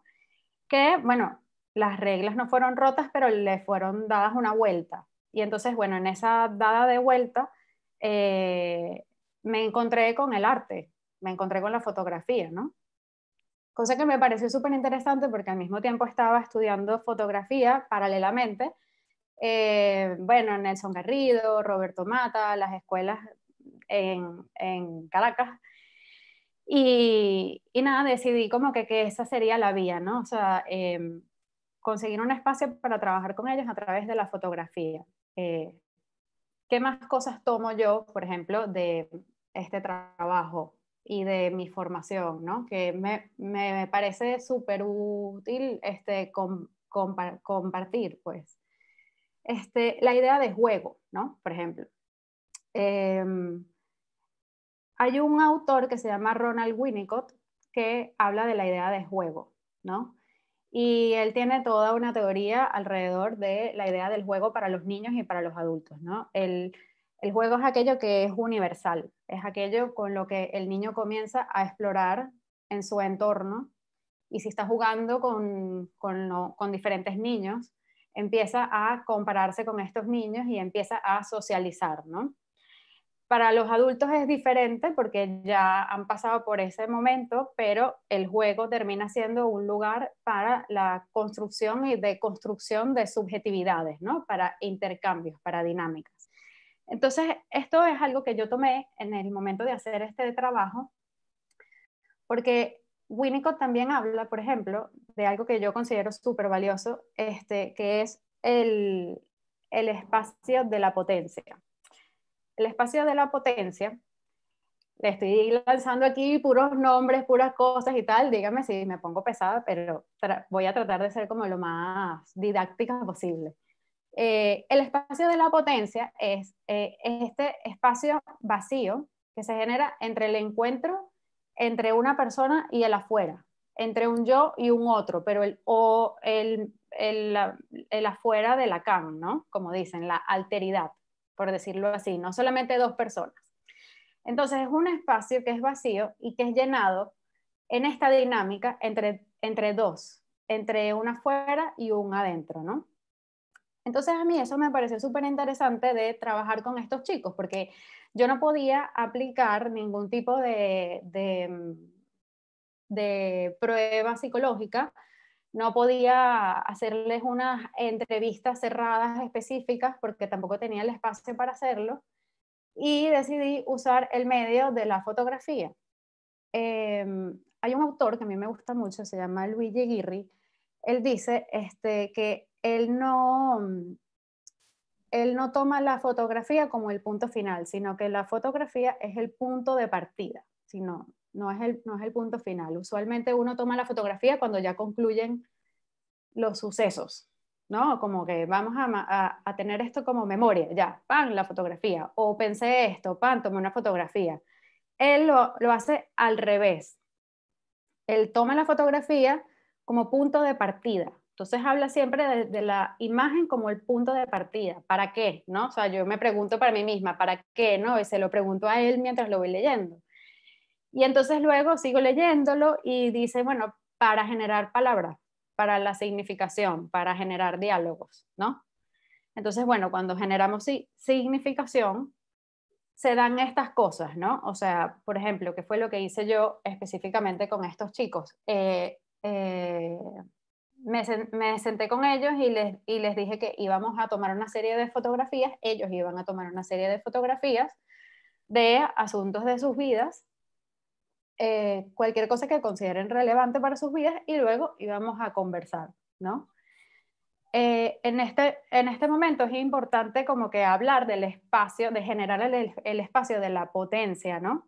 Porque si uno llega con una idea ya predeterminada y le dices, no, mira, es que las fotos tienen que ser tomadas de esta forma, eh, así se compone una fotografía, esto es lo bello, esto es lo feo, esta es la foto buena, esta es la foto mala, antes de que ellos expresen un, un, poco su propia subjetividad, entonces, bueno, te van a llegar unos resultados muy, muy predecibles, ¿no? Por decirlo de una forma. Entonces, yo con ellos, yo no les enseñé una clase de, fotografía ni, ni nada de eso, simplemente era como generar imágenes para que luego nos sentáramos a conversar. Y bueno, eso fue más o menos el trabajo. El trabajo fue, este, duró un año, estuve un año eh, yendo y viniendo para Petare, para la Dolorita específicamente. Em, y estuve nada con, conversando con una, con una banda de, chicos eh, llamados delincuentes por su comunidad y ellos estaban a la vez tomando fotos. Luego me dieron las cámaras y el proceso fue que yo revelé las cámaras y después me sentaba con ellos y ellos me, me comentaban un poco qué es lo que habían fotografiado, ¿no? Eh, algo muy, muy sencillo, la verdad era muy sencillo. La parte que era compleja era quitarse los prejuicios, un poco. Eh, no tratar de, de, ponerles a ellos significantes en la boca, por decirlo así, como que esto significa que ello, esto, estás tratando de decir esto y aquello, no, sino que generar un espacio de suficiente escucha y de silencio para que ellos se pudieran manifestar. Entonces, bueno, pasaron cosas interesantes. Este, por ejemplo, nada, en esta foto, esta foto yo siempre la comparto porque es la que menos me esperaba que pasara. Eh, una foto que me trae Wilkis que dice, bueno, esta, esta soy yo, eh, me trae la foto del mar y me dice, esta soy yo, nunca se sabe lo que se va a pasar porque no se ve nada y en mí nunca se ve nada tampoco. Esta foto es como ir al fondo, nunca lo encuentras, y así soy yo, nunca encontrarás el fondo, ¿no? Este, o, por ejemplo, las fotos de Cheo, que me parecieron también súper interesantes, porque Cheo es el líder, era el líder de la banda, y él era como el que, el que salía corriendo y el que, el que se escapaba, ¿no? De todos lados, y todas sus fotografías son eh, lugares de los que ha brincado para arriba para abajo, lugares desde donde los que se ha escapado. Y estas tres fotos las tomó y él, él, no, él no se dio cuenta que tomó las fotos con una reja, por ejemplo. Y entonces, bueno, su discurso era como que, bueno, si yo, si yo tuviera un estilo de vida diferente, o sea, si yo tuviera una vida diferente, tuviera un apartamento aquí, este, mi hija fuera para este kinder y yo jugaba básquet con mis amigos en esta cancha de básquet, ¿no? Y entonces, bueno, luego de que se da cuenta, bueno, nos damos cuenta juntos que puso unas rejas, bueno, se habla un poco de, de cómo se siente él, ¿no? Con respecto a, a eso, ¿no? Son como mini detalles que van saliendo este, en, el, en el proceso de, de las fotos, ¿no? Con estos, con estos chicos. Este, y bueno, el asunto es eh, que lo que siento yo que me pareció más valioso es, que, bueno, nada, yo hice mi investigación, que era, bueno, que estaba basada en entender cómo la violencia está inmersa en sus modos de relación, pero al mismo tiempo algo pasó en este, en este trabajo en específico, que es que en el diálogo con ellos, ellos mismos como, como, que poniéndole palabras a lo que sentían o a lo que veían o, o a, lo, a, lo, que soñaban o cualquier cosa que imaginaban, se dieron cuenta de que podían ser ellos mismos pero diferentes, ¿no? De una forma diferente. Y entonces ahí quiero ir al, al siguiente punto, ¿no? Este, que creo que me parece súper valioso, que bueno, yo iba por todo este, por todo este rollo de que el juego eh, genera espacios, espacio de, potencia, la fotografía es, un, es, una, es una forma de abrirle la puerta al lenguaje. Con el lenguaje podemos compartir, sí, sabes, como que em, subjetividades entre todos y en ese compartir de subjetividades se da el proceso de la singularización, que creo que es lo que le pasó a estos chicos. Estos chicos se consiguieron a ellos mismos en un modo de relación diferente. hacían exactamente lo mismo, porque ellos me decían, no, pero es que si seguimos siendo parte de la banda, somos parte de la banda, pero es que ahora estamos disparando con una cámara, no estamos disparando con una pistola, ¿no? Y entonces ellos mismos como que se descubrieron siendo diferentes y les dio curiosidad hacer otra cosa, otra cosa diferente. Entonces muchos de estos chicos que, bueno, con asesinatos encima, eh, rutinas de ir a robar todos los días para Caracas, etcétera, etcétera, etcétera, ellos mismos intentaron tener un cambio en, en, en las vidas de, en, en, las propias vidas, pues, de ellos, ¿no? Obviamente, después de eso, vienen más problemas. Eh, no todo joven delincuente que ha cometido una serie de crímenes puede simplemente cambiar y seguir así, así como si nada, ¿no? Obviamente hay miles de cosas pasando. Pero a mí me pareció interesante porque era algo que a mí no me, o sea, yo no lo estaba planificando, yo nunca pensé, bueno, ni siquiera había estudiado arte para la transformación social o este tipo de cosas, ¿no? O sea, para mí esto me, me, me llegó, ¿no? Entonces, bueno, em, ¿qué se hizo después? Em, ellos querían contar su historia, entonces hicimos como una exposición itinerante que rodó por bastantes lugares de Petare. Aquí está en la Fundación Lamas.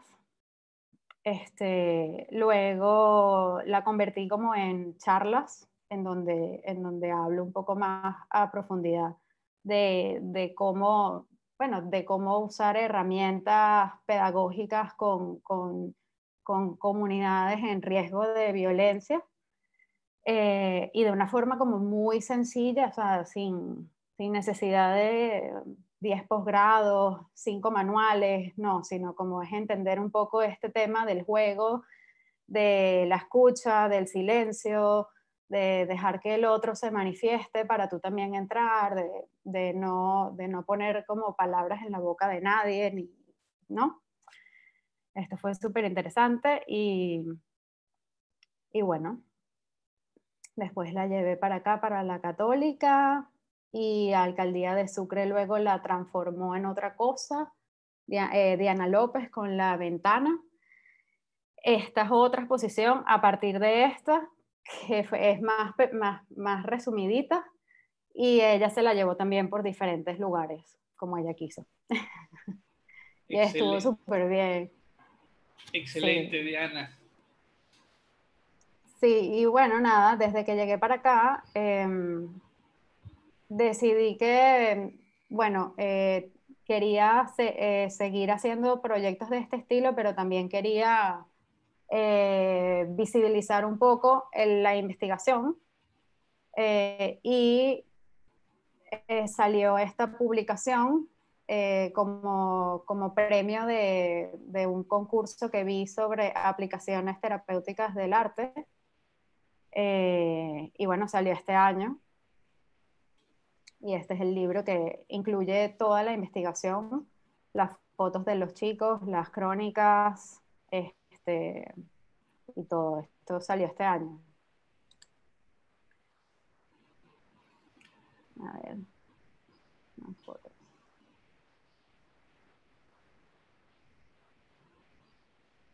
Todavía no sé ni siquiera en dónde lo van a vender. Bueno, se va a vender aquí en España, este, pero todavía no sé muy bien, o sea, no han, no han distribuido nada todavía, por decirlo así. Pero ya les daré la información. Estamos muy pendientes de esa publicación. bueno, buenísimo. Y bueno, después, este, nada, para cerrar, si quieren, no sé si estoy full de tiempo ya. ¿Cómo vamos, ya, no te queda tiempo.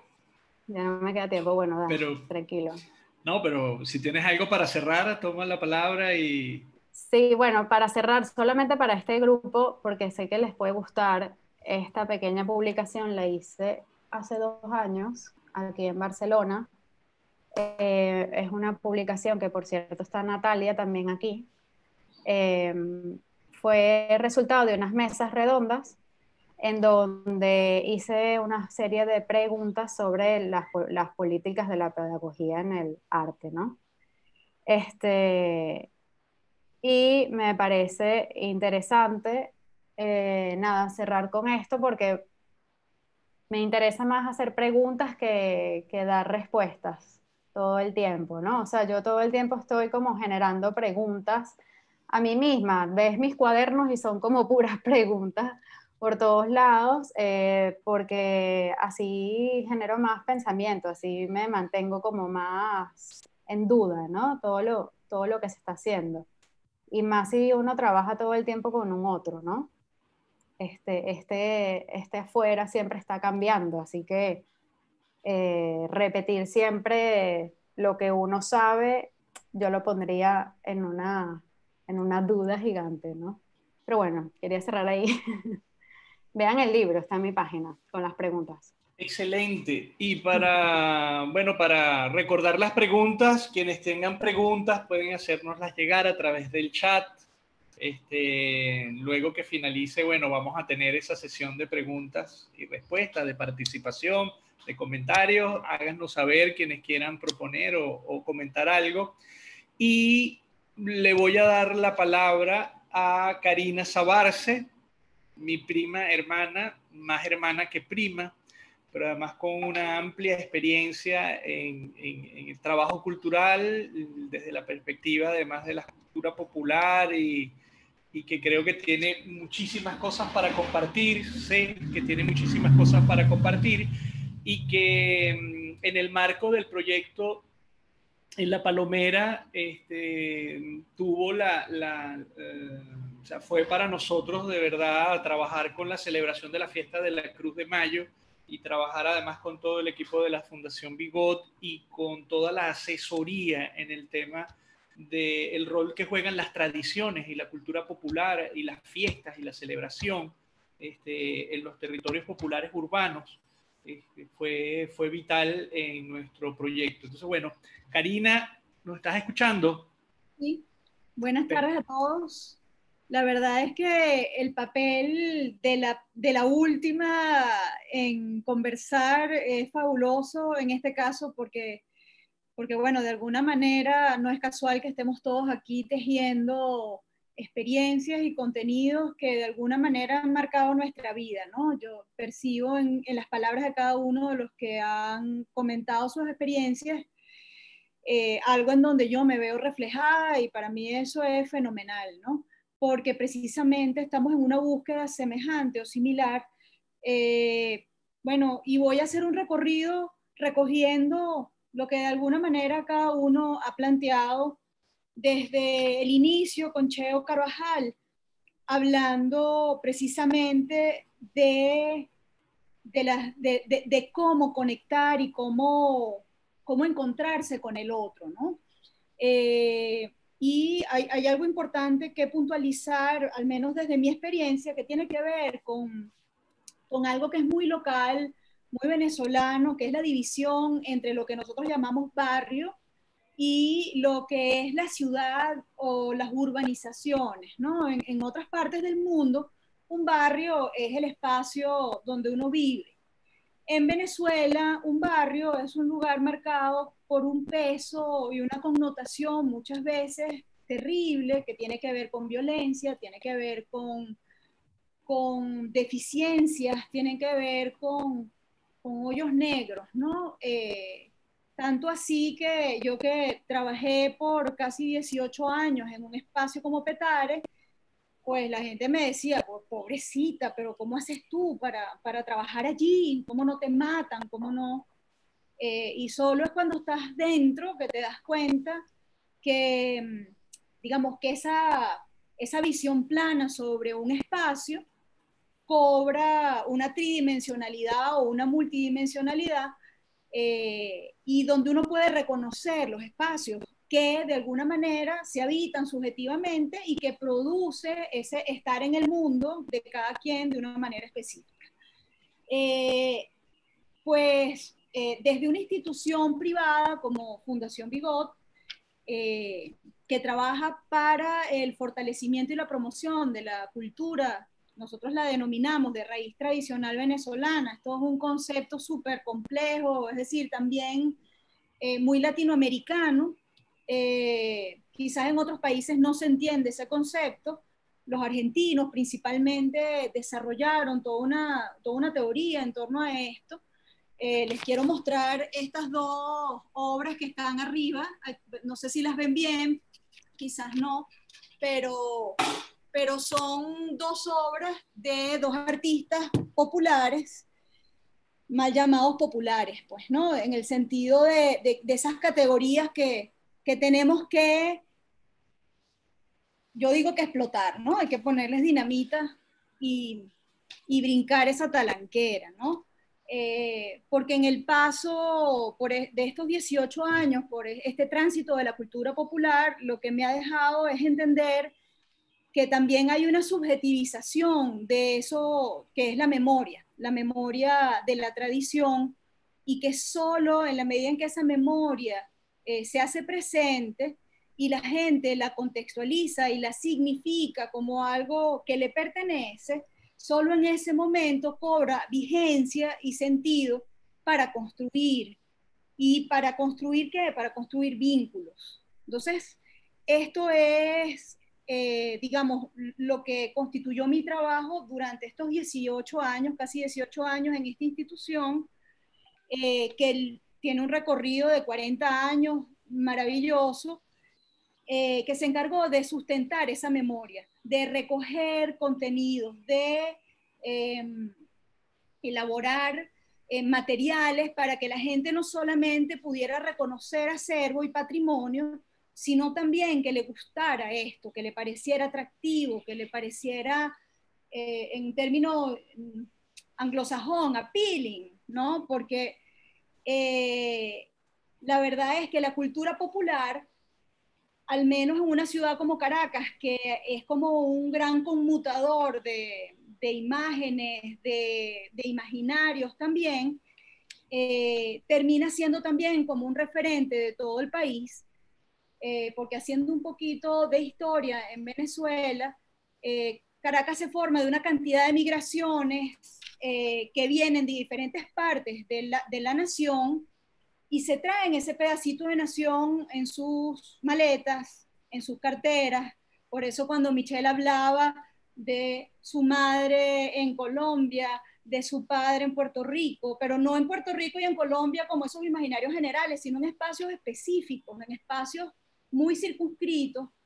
Em, en ese momento es que uno se da cuenta de que muchas veces eh, y precisamente eso ocurre aquí en Caracas, o ocurrió aquí en Caracas cuando ese proceso de migración que inició a finales del siglo XIX eh, y se consolidó en, eh, durante todo el siglo XX, esa gente se trajo eso en sus maletas, metidito. Pero resulta que en el afán de futuro, en el afán de, de vivir el presente con esa necesidad de construir algo para más adelante, bueno, la maleta se quedó sin deshacer, pues se quedó como guardada en el cuarto que nosotros llamamos aquí el cuarto de los locos, donde pusimos la maletica y, conchole, ese cuarto después se quedará allí, o sea, lo abriremos para sacar las cosas. Eh, en este caso, desde Fundación Bigot, eh, tenemos la misión de trabajar en la promoción de la cultura popular en la medida en que además construimos ciudadanía eh, buscando mejorar condiciones para los habitantes eh, que están en el entorno de la, institución. En este caso, la institución funciona en Petare, eh, digamos, físicamente, tiene su sede allí. Y, y la experiencia con el barrio durante todo este tiempo me hizo reflexionar sobre el hecho de que las tradiciones en realidad las sostienen los barrios no la sostiene la clase media, no la sostiene la gente tanto que vive en la urbanización, sino la gente que está en ese lugar, porque en realidad su memoria tiene una significación fundamental este, para sostener el espacio del deseo de haberse querido venir a la ciudad y que lo reconecta también con un pasado que sienten que de alguna manera este, está allí y que lo reconoce con un valor. Eh, y bueno, eso fue lo que hicimos desde La Palomera con el trabajo de Cruz de Mayo. Primeramente, como comentaba Diana, o sea, eh, en la medida que uno escucha, en el caso específico de la fiesta, cómo se hacía esa fiesta en el espacio, cómo era que estas personas recordaban esa fiesta de Cruz, empezamos a notar que la fiesta de Cruz de Mayo, aunque se reconoce este, como nacional, en cada lugar tiene una connotación específica y precisamente porque son las familias las que sostienen la tradición y cada familia le añade un elemento específico. Eh, este elemento específico permite construir memoria, pero permite construir algo más importante que es el disfrute. Es, no es la memoria formal, no es la memoria de lo que debería estar en un libro escrito, porque lamentablemente también la cultura popular o, el folclore de un país, al patrimonializarse, muchas veces se queda como, como estático, ¿no? Como si existiera solo en, en una cajita de cristal, en una representación eh, que solamente por repetirla eh, o a fuerza de repetirla se va a hacer realidad y no es así.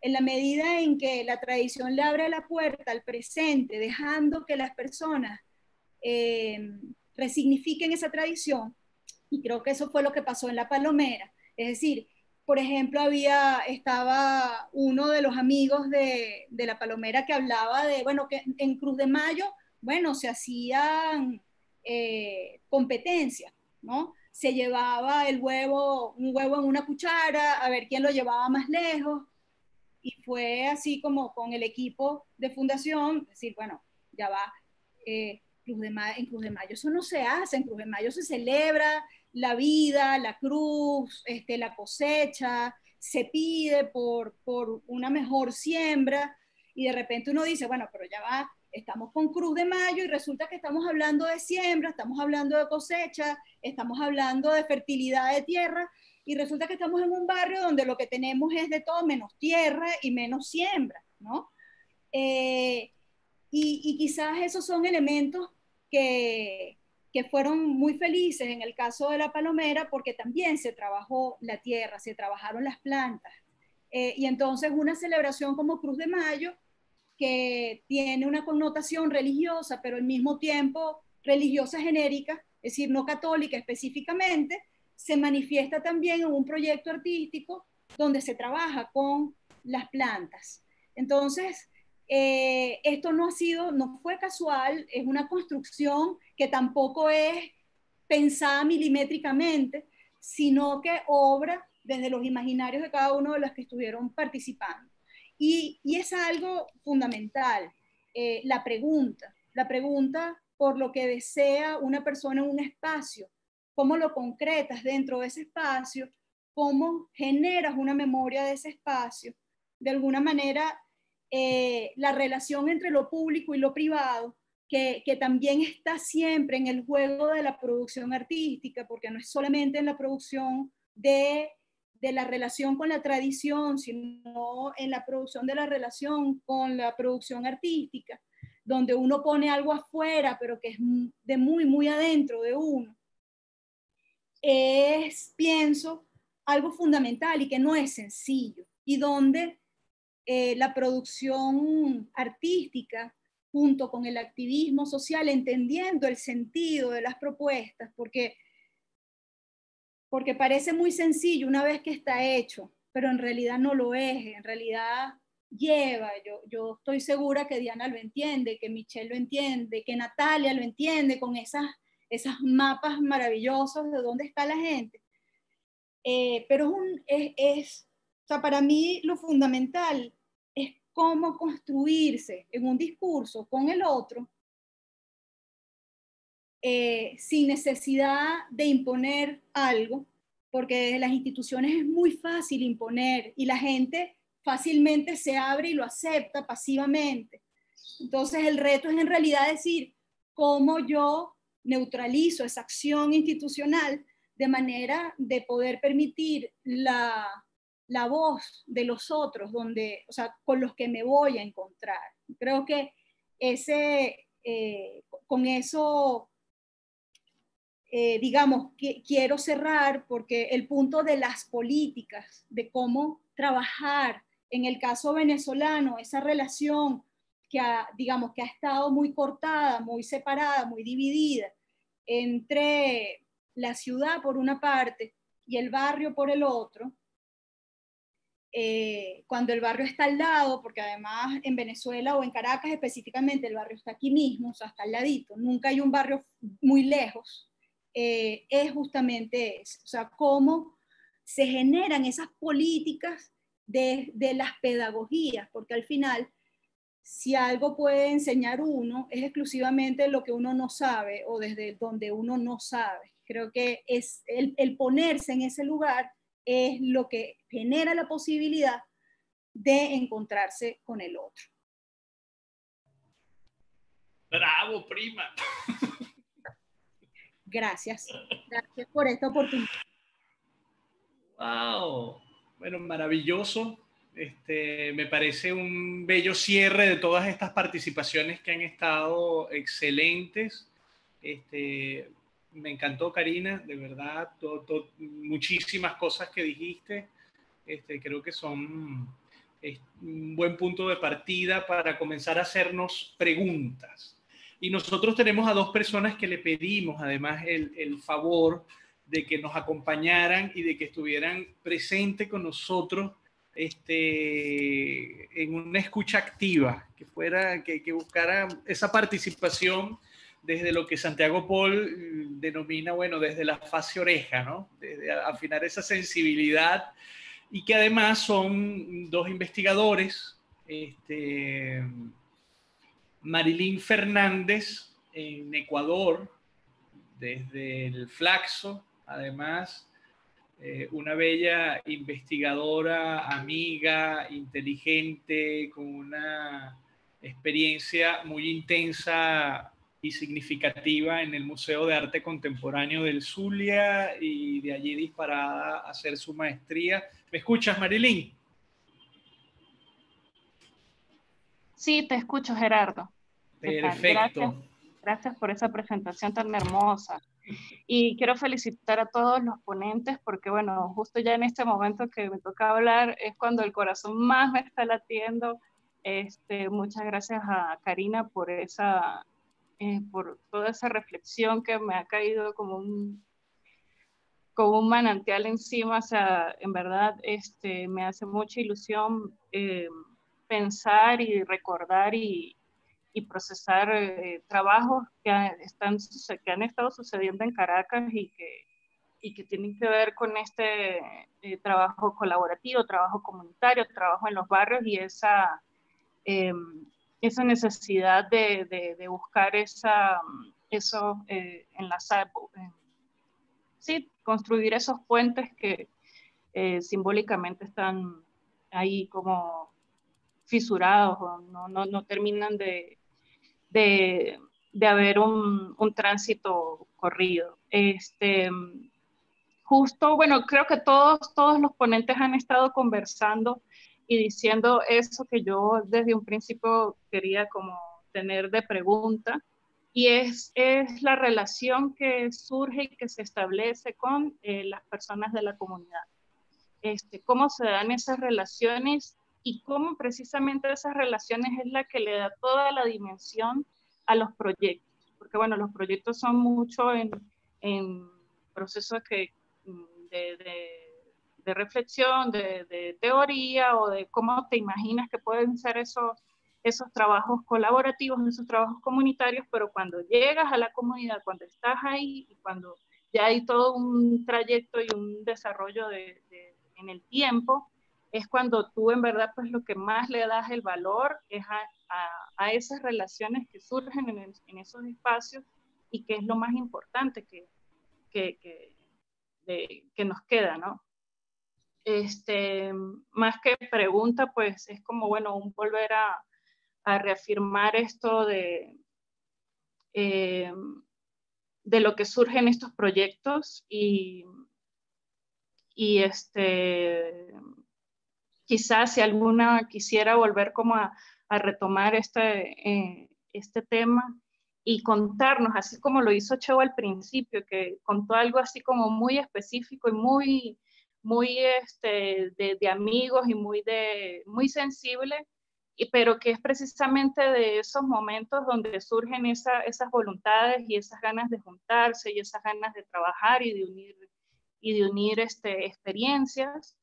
Este, quizá alguno de, los ponentes quiera volver a, eh, quiera sacar una, una experiencia de estas y compartirla con nosotros, porque me, parece que de ahí es donde nace la energía, donde nace la voluntad de, de seguir con este tipo de proyectos y, y que no se detengan, porque la cuestión también en Venezuela es con un problema de continuidad, ¿no? que surgen eventos y cuestiones muy importantes como este, situaciones que, que, son magníficas y que en cuanto al arte pues, es muy rico lo que sucede, pero no hay una continuidad que es muy difícil. Yo sé que es muy complicado esto, pero creo que en el momento clave en el que esas personas se vuelvan a unir y, y se vuelvan a unir esas voluntades, puede servir eh, surgiendo estas reflexiones y, situaciones que nos hacen pensar eh, que el arte es realmente necesario y, y, es lo que, lo que en este momento nos hace seguir adelante.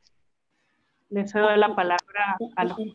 Un, poco en el marco de esta pregunta, me encantaría que Michelle nos quisiera responder algo. Creo que, que es una voz importante y tiene una experiencia que, pudieran, que, pudiera enriquecernos.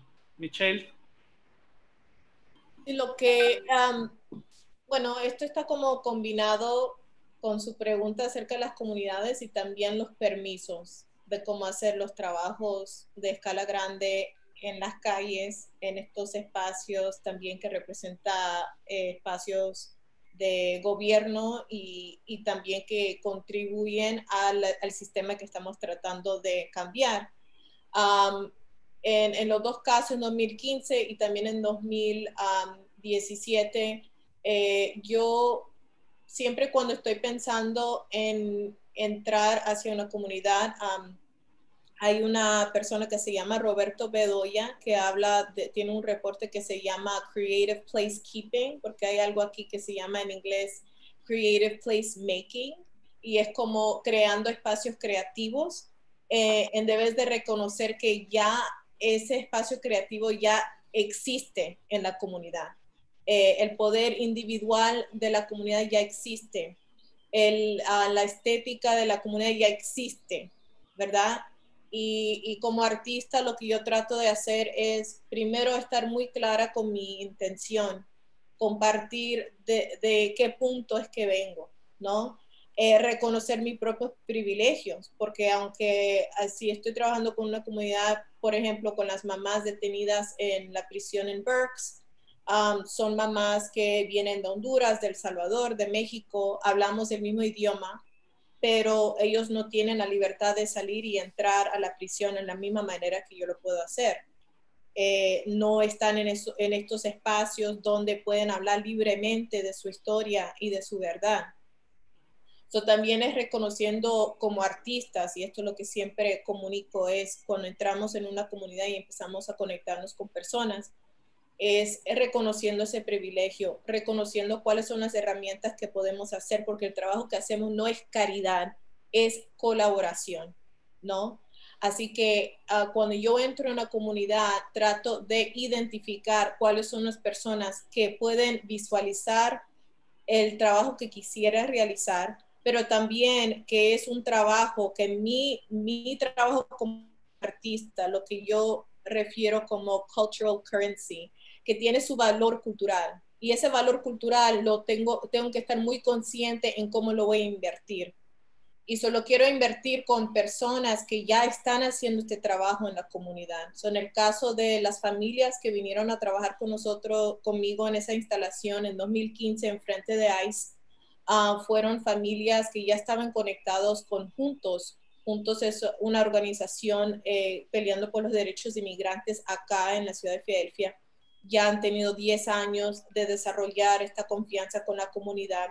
So, lo que pude hacer es ir a diferentes sesiones, presentar la idea, tratar de desarrollarlo y, es, y ser estratégica en cuándo se iba a presentar las instalaciones y cómo las familias podían no nada más ser parte en la creación de la obra, pero también estar seguros en ese espacio. Eh, lo, que, lo que encontramos es, yo como artista parada enfrente de ICE, eh, mi riesgo es muy diferente siendo un American citizen, una ciudadana americana, comparado a una persona que es un documentado que podía ser posiblemente deportados, ¿no? O detenidos.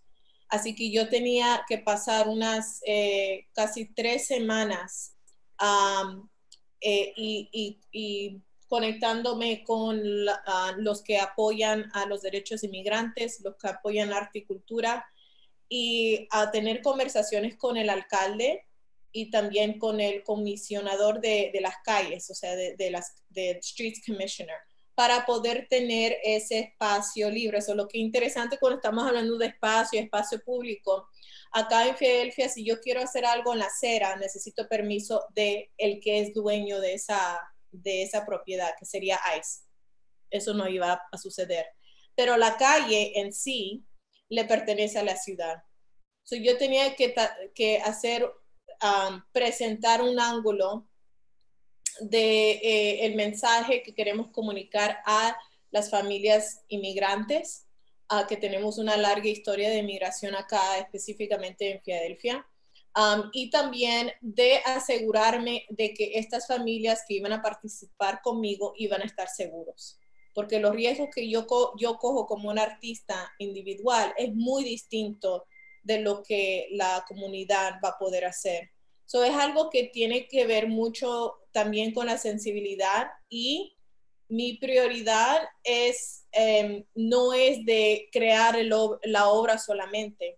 O sea, es todo, como estaba diciendo Karina, hay todos estos elementos, todas estas conexiones que acompaña el éxito de un trabajo. Y el éxito del trabajo era que nosotros nos podíamos reunir para hacer esa obra en sí, ¿no? Ese momento, o sea, la obra se hizo, pero ese momento en que nos reunimos fue algo tan poderoso, porque fue un edificio en que representaba tanto dolor y tanto miedo, y allí estábamos sin miedo, o sea, valientes y trabajando juntos. Y ese momento es poderoso para el espíritu de la comunidad y las personas que estaban compartiendo, pero tenía, yo tenía que hacer bastante trabajo ah, y, adaptar mi manera de hablar, ¿no? Porque yo no puedo hablar de mi estética o el, mensaje, especialmente con, con el Streets Commissioner. Para él era más que cómo van a estar seguros, cómo se van a mover el tráfico, cómo se va a poner y cómo se va a quitar, ¿no? se tenía todos estos elementos y después yo le dije a él, esto es lo que le vas a decir al, alcalde, ¿no?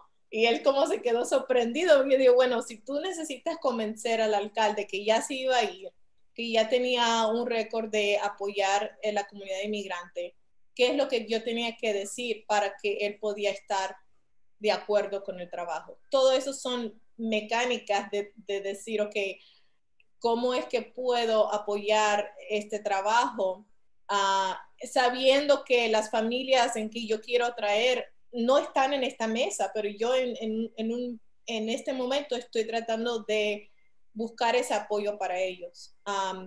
pero, pero sí, costó trabajo para poder tener esos permisos, pero tenía ya la confianza de la comunidad porque ya, mira, y a veces ni son organizaciones, a veces son la comadre Amelia, a veces son la señora Irma, a veces eh, el compadre Pedro. O sea, son personas que reconocen su ciudad, que saben las dinámicas de su ciudad, sabe lo que es necesario, sabe quién tiene el daño, quién va a cocinar el almuerzo, quién va a hablar con los jóvenes para que tú puedes ir y, presentar su idea y, quién saben quiénes son los grafiteros o quiénes son los, los, eh, los retirados que ya están pintando imágenes tradicionales de, de su pueblo, ¿no?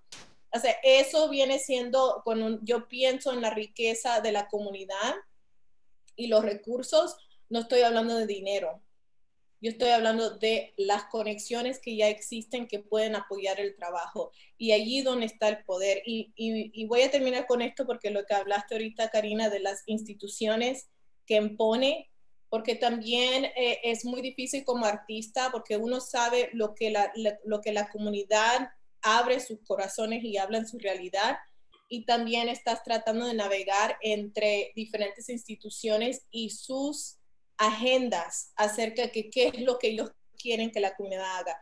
So, yo como enviada cultural, eh, trabajando con la, la Embajada de los Estados Unidos, trabajando con organizaciones en diferentes países, para mí lo que es muy importante es en cada paso que doy, cómo es que estoy protegiendo la integridad de mi trabajo como artista y la integridad del trabajo y el valor que tiene la comunidad. Y eso también es, cuando nosotros pensamos en cambio, a veces nada más pensamos, estamos haciendo cambio en la comunidad.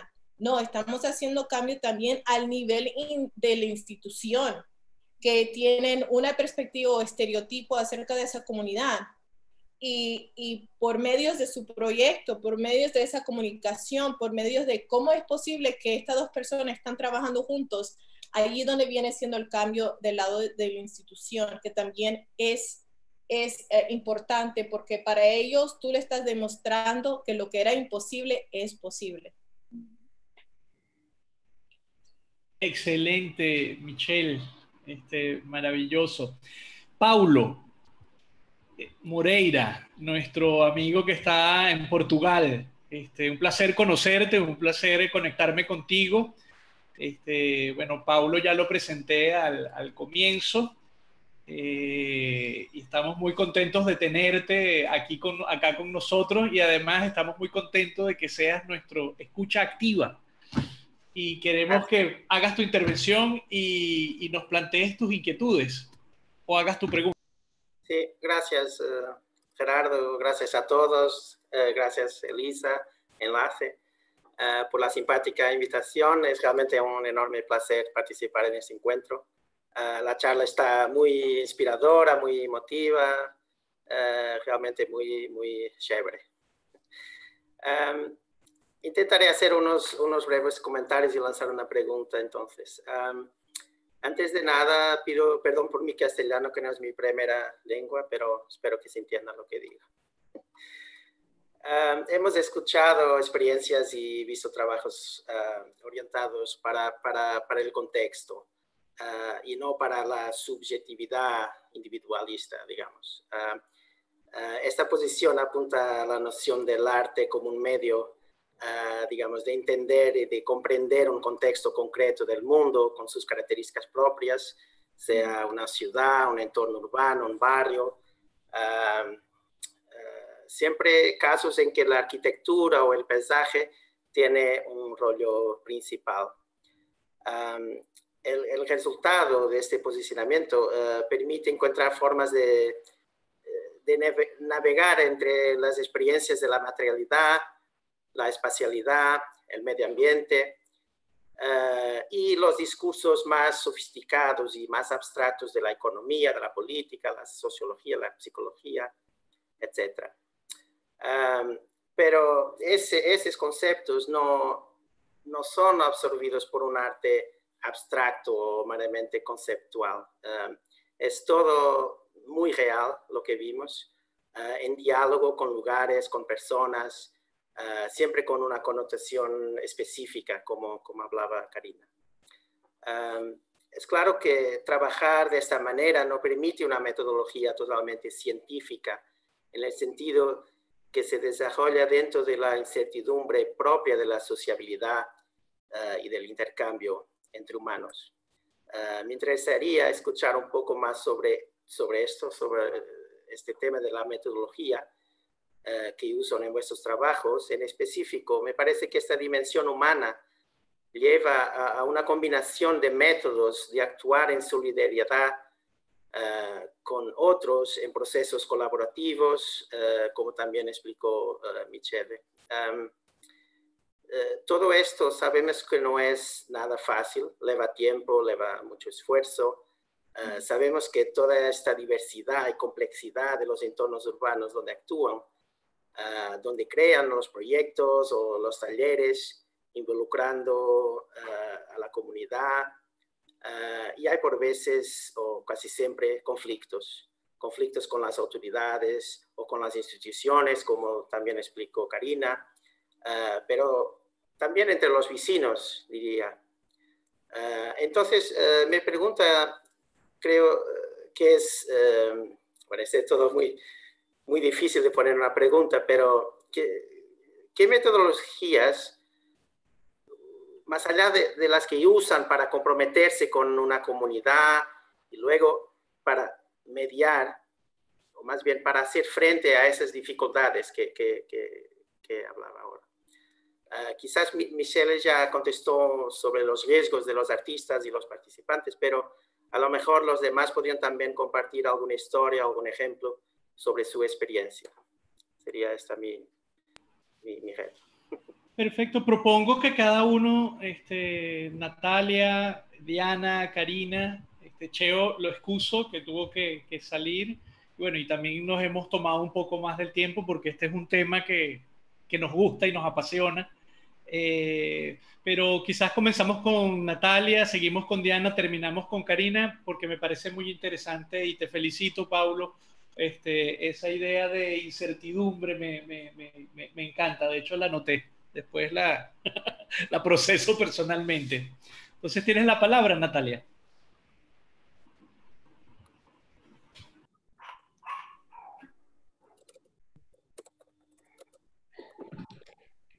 De responder. Eh, sí, la metodología que desarrollamos en Mapea, la verdad que fue bien interesante ese proceso porque fue realmente, fue una propuesta mía, pero fue un trabajo en grupo que se conversó largamente antes de comenzar. Eh, pero a partir de esa experiencia encontramos un método que lo hemos replicado en diferentes sitios con Marilyn estuvimos allá en el Maxul, este, que lo pudimos llevar mm, para trabajar con la comunidad guayú. Eh, y eso realmente para mí fue como un, descubrimiento importante, encontrar un método que uno puede seguir replicando, porque normalmente en el trabajo eh, personal de artista, yo creo que la experimentación siempre está como como el punto de partida. Entonces, pues, sí, fue, fue como un, un hallazgo importante eso. Magnífico. Diana, tienes la palabra. Eh, bueno, eh, para mí es interesante porque ahorita pensé en lo que estaba diciendo mi, eh, Michelle sobre el, el, poder que tienen los líderes comunitarios, ¿no? Y, y, también como que estar ahí, estar ahí, escuchar y ver qué es lo que ya es esa comunidad.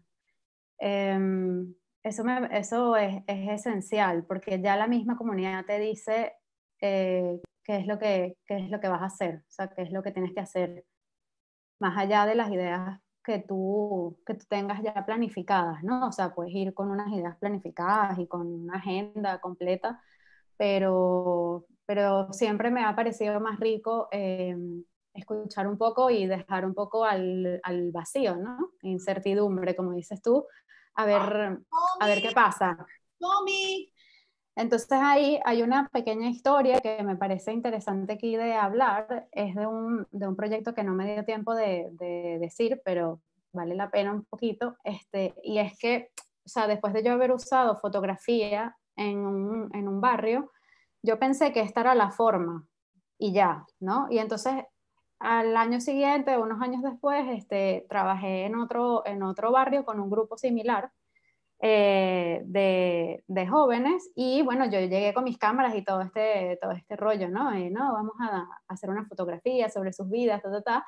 Y bueno, ellos de frente me dijeron, mira, yo no, yo no quiero yo no quiero trabajar con fotografía, o sea, a mí no me importan las cámaras, tal, o sea, incluso les di las cámaras y no me las devolvieron más nunca y tampoco querían hablar conmigo y eso fue todo un lío porque yo dije, wow, o sea, se desmontó todo, ¿no?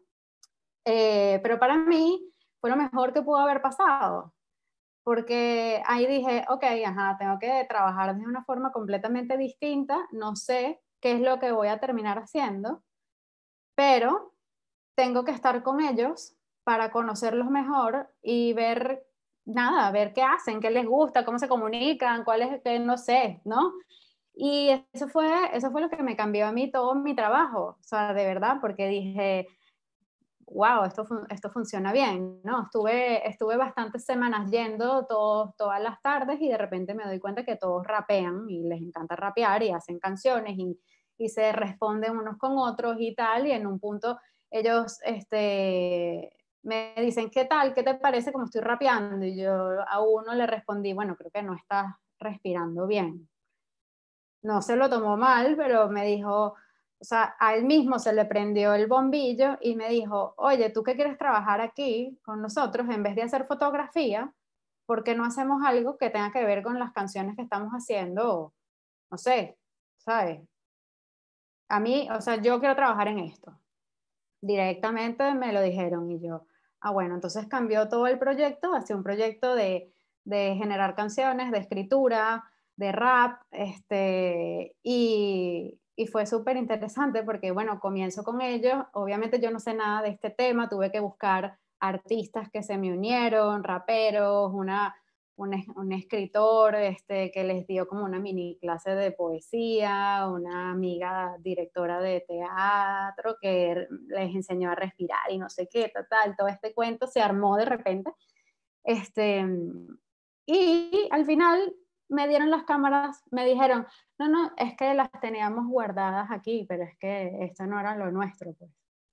¿No? Entonces, ¿qué es lo que quiero decir con eso? Que el espacio, el espacio vacío, el espacio de escucha de la comunidad, de, conocer bien a los líderes comunitarios, de, de decirle a la institución, porque yo ahí estaba con Cultura Chacao, les tuve que decir, mira, lo siento, esto no puede durar seis meses.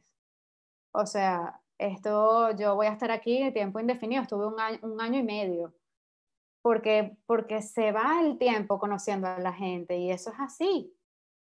Y nada, me pareció como, después de ese, ese, ese proyecto ya no tengo nada eh, diseñado, o sea, no llego nunca con algo ya listo, así como que esto es lo que se va a hacer en esta comunidad, porque yo lo digo, no, sino, sino que llego y veo, y me comunico y escucho y luego veo qué, qué vamos a hacer. Excelente, Diana. Karina, ¿qué respondes a ese espacio vacío que actúa como deseo para ser llenado? Audio. Sí. Eh, en efecto, como dice Diana, o sea, ahí, digamos, uno tiene que sopesar en términos de metodología lo que aspira a lograr, ¿no? Y, en procesos sociales y de producción artística y cultural, los tiempos son muy relativos. Entonces, eh, en mi caso, eh, aprendí una lección importante de unos amigos de Barcelona, que es la gente de Transit Proyectes. Eh, este libro que se llama Eje Central, que se los recomiendo, está en la página web de Transit. Y es un poco en este tema del diseño como tal, de, digamos, hablando ya de metodología de diseño, de intervención o de trabajo conjunto con comunidades o de trabajo colaborativo, digamos, es un poco, eh, primero, escuchar, la escucha es fundamental para luego entender, a nosotros nos pasó por mucho tiempo, voy a hablar de una comunidad muy específica, que es la comunidad de Santa Rosa de Agua, en el estado Zulia, en Maracaibo. De hecho, es la última comunidad palafítica que queda dentro de la ciudad, que tiene además el bosque de manglares autóctonos eh, que queda en toda la ciudad de Maracaibo. Y en ese momento en el que nosotros decidimos entrar para organizar una acción, eh, ellos estaban pasando por una situación de violencia muy importante eh, se habían, digamos, entre bandas, se habían matado porque ellos están pegados del lago, en el lago hay mucha actividad de, tráfico de drogas, de distribución de drogas, y se estaban peleando básicamente el mercado, pues, ¿no? La, distribución. Eh, y salió a la luz una información muy, muy triste sobre una cantidad de niños que habían matado, en teoría porque supuestamente los habían violado, pero en realidad los habían matado en medio del tiroteo, ¿no? De, de, lo que ocurrió días antes de que nosotros estuviésemos allí. Eh, y nosotros teníamos como un plan preestablecido inicialmente, porque Santa Rosa de Agua tiene, digamos, una herencia de los pueblos de agua indígenas. Eh, manejan algo de lo que queda de la lengua de, esa población indígena. Eh, y bueno, eh, además de eso está la décima, que la décima zuliana allí es muy fuerte y tiene unas características muy peculiares. Bueno, el caso es que veníamos como llenos de ideas para trabajar en talleres, cómo reforzar el tema de economías creativas dentro de, la, de, de ahí de la comunidad, porque realmente una comunidad muy, muy deprimida, además económicamente. Bueno, cuando empezamos a hacer sondeo de expectativas, porque al final eh, cuando uno se aproxima como institución, la gente tiene como un imaginario sobre lo que quiere de esa institución que está entrando. Ese es el peligro de cargar con una institución detrás, ¿no? De un artista, de un activista social, de un gestor, de un gestor cultural. Eh, y hablaban en principio mucho del rescate de sus tradiciones, de lo que ellos tienen, de lo que, de lo que es valioso allí, qué sé yo. Pero bueno, fuimos medio tratando de pelar la, la cebolla y al final todos, eran como unos 45 personas de la comunidad en esa reunión, todos coincidieron en que lo que ellos en realidad querían es que el mundo, no solamente Maracaibo o Venezuela, sino el mundo entero, los reconociera como gente buena, como gente que no mataba a nadie ni violaba a niños, es decir, ellos, eh, ellos lo que querían de la intervención que nosotros pudiésemos hacer es que saliéramos nosotros garantizando que ahí vive gente buena.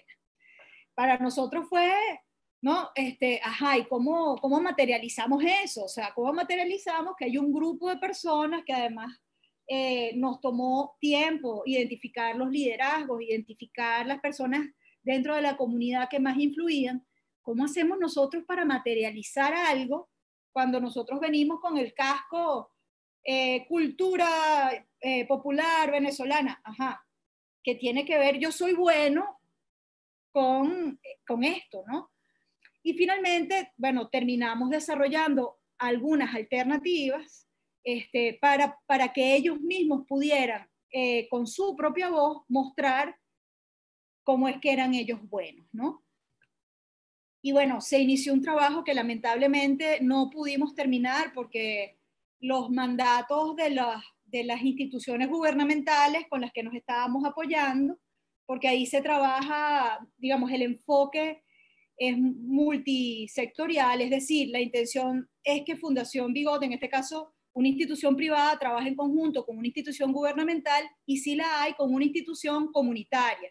Cuando hablo de institución comunitaria, es un grupo social que hace trabajo por la comunidad y que sea reconocido positivamente dentro de esa comunidad.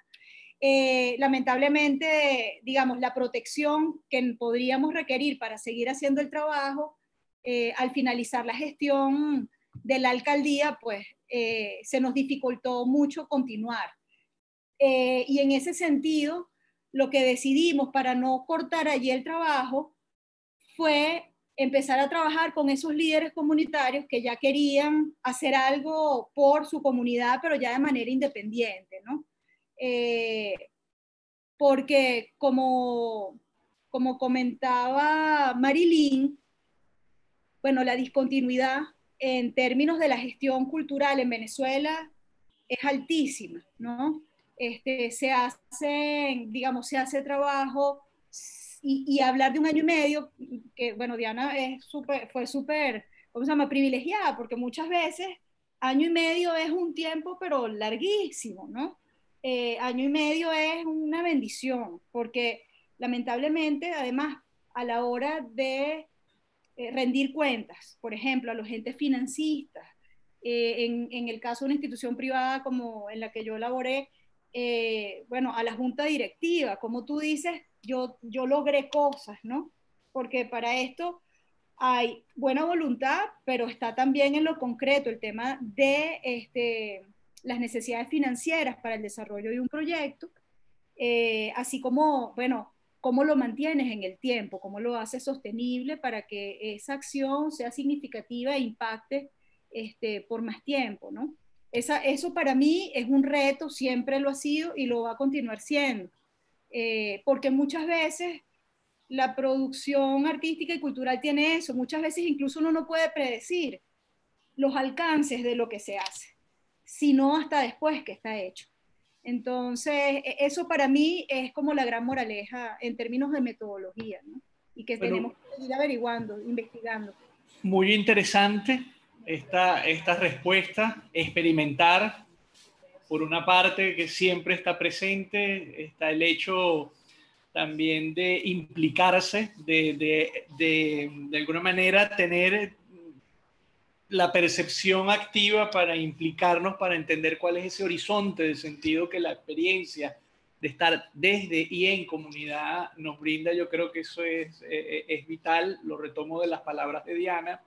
Y yo creo que, bueno, muchas cosas que, que, nos propone Karina, pero la idea también de esos indicadores invisibles que tenemos que aprender a descubrir, ¿no? Que quizás cuando trabajamos en, en procesos tan complejos como son los procesos de, trabajar desde y con las comunidades, hay una serie de, indicadores que vamos descubriendo, ¿no? Y que, que, muchas veces no los tenemos como, como un aparato previo a la propia experiencia. Eso me parece bastante significativo. Quiero agradecer el tiempo de todas las personas que han estado con nosotros escuchándonos. Nos hemos extendido un poco más de lo previsto pero que bueno, muy densas y muchísimo contenido, todas las ideas. Quiero agradecer especialmente a las personas que se han conectado desde fuera. Quiero agradecerte, Paulo, que sé que estás en Europa, este, Diana también allá en Barcelona, que sé que el horario es distinto, personas que están desde otros lugares. Especialmente agradecer a Michelle Ortiz, de verdad que Michelle, somos siempre, estamos contigo Voy a aprovechar para hacer mis cuñas rapidito. Karina Sabarce viaja con frecuencia, por lo menos una vez al año, a los Estados Unidos y a Washington, D.C. ya te diste cuenta, no es que sea mi prima, pero bueno, nos queremos Bueno, visítame, visítame los que quieren, los que pueden, están aquí, bienvenidos acá. Creo que Karina debe ir a, a Filadelfia.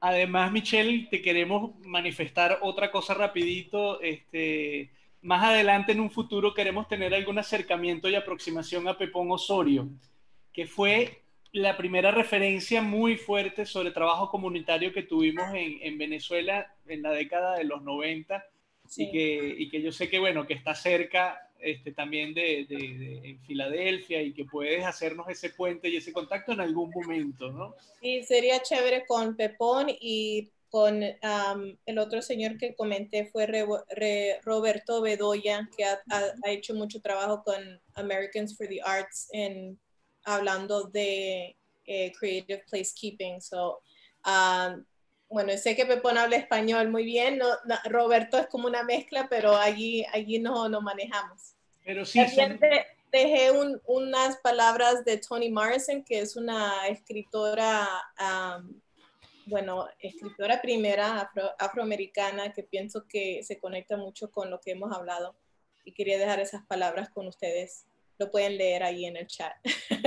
Muchísimas gracias. Bueno, Marilyn, que está en Flaxo, nuestra investigadora, que está ya, nuestra diáspora pensando en nosotros.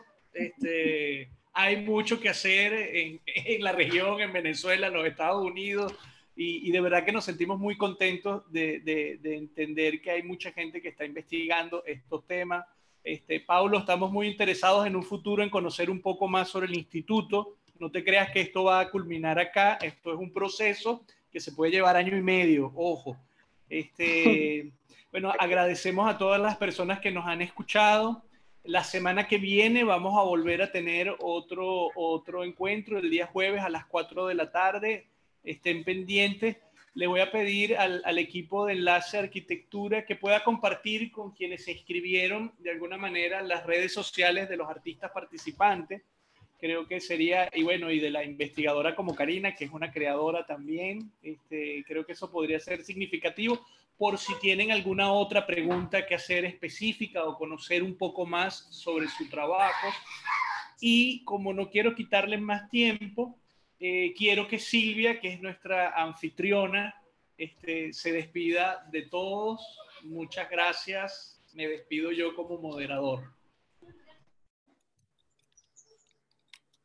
Bueno, Gerardo, muchísimas gracias a todos los invitados. De verdad que ha sido una jornada intensa, pero absolutamente enriquecedora. desde todos los puntos de vista. Eh, efectivamente, pues nos llevamos más tiempo, pero valió muchísimo la pena. Eh, los esperamos el próximo jueves para seguir estas conversaciones y muchísimas gracias a todos los participantes. Gracias Gerardo, Fundación Enlace Arquitectura y nos vemos el jueves que viene. Gracias a todos, muchísimas gracias. Gracias, gracias a todos.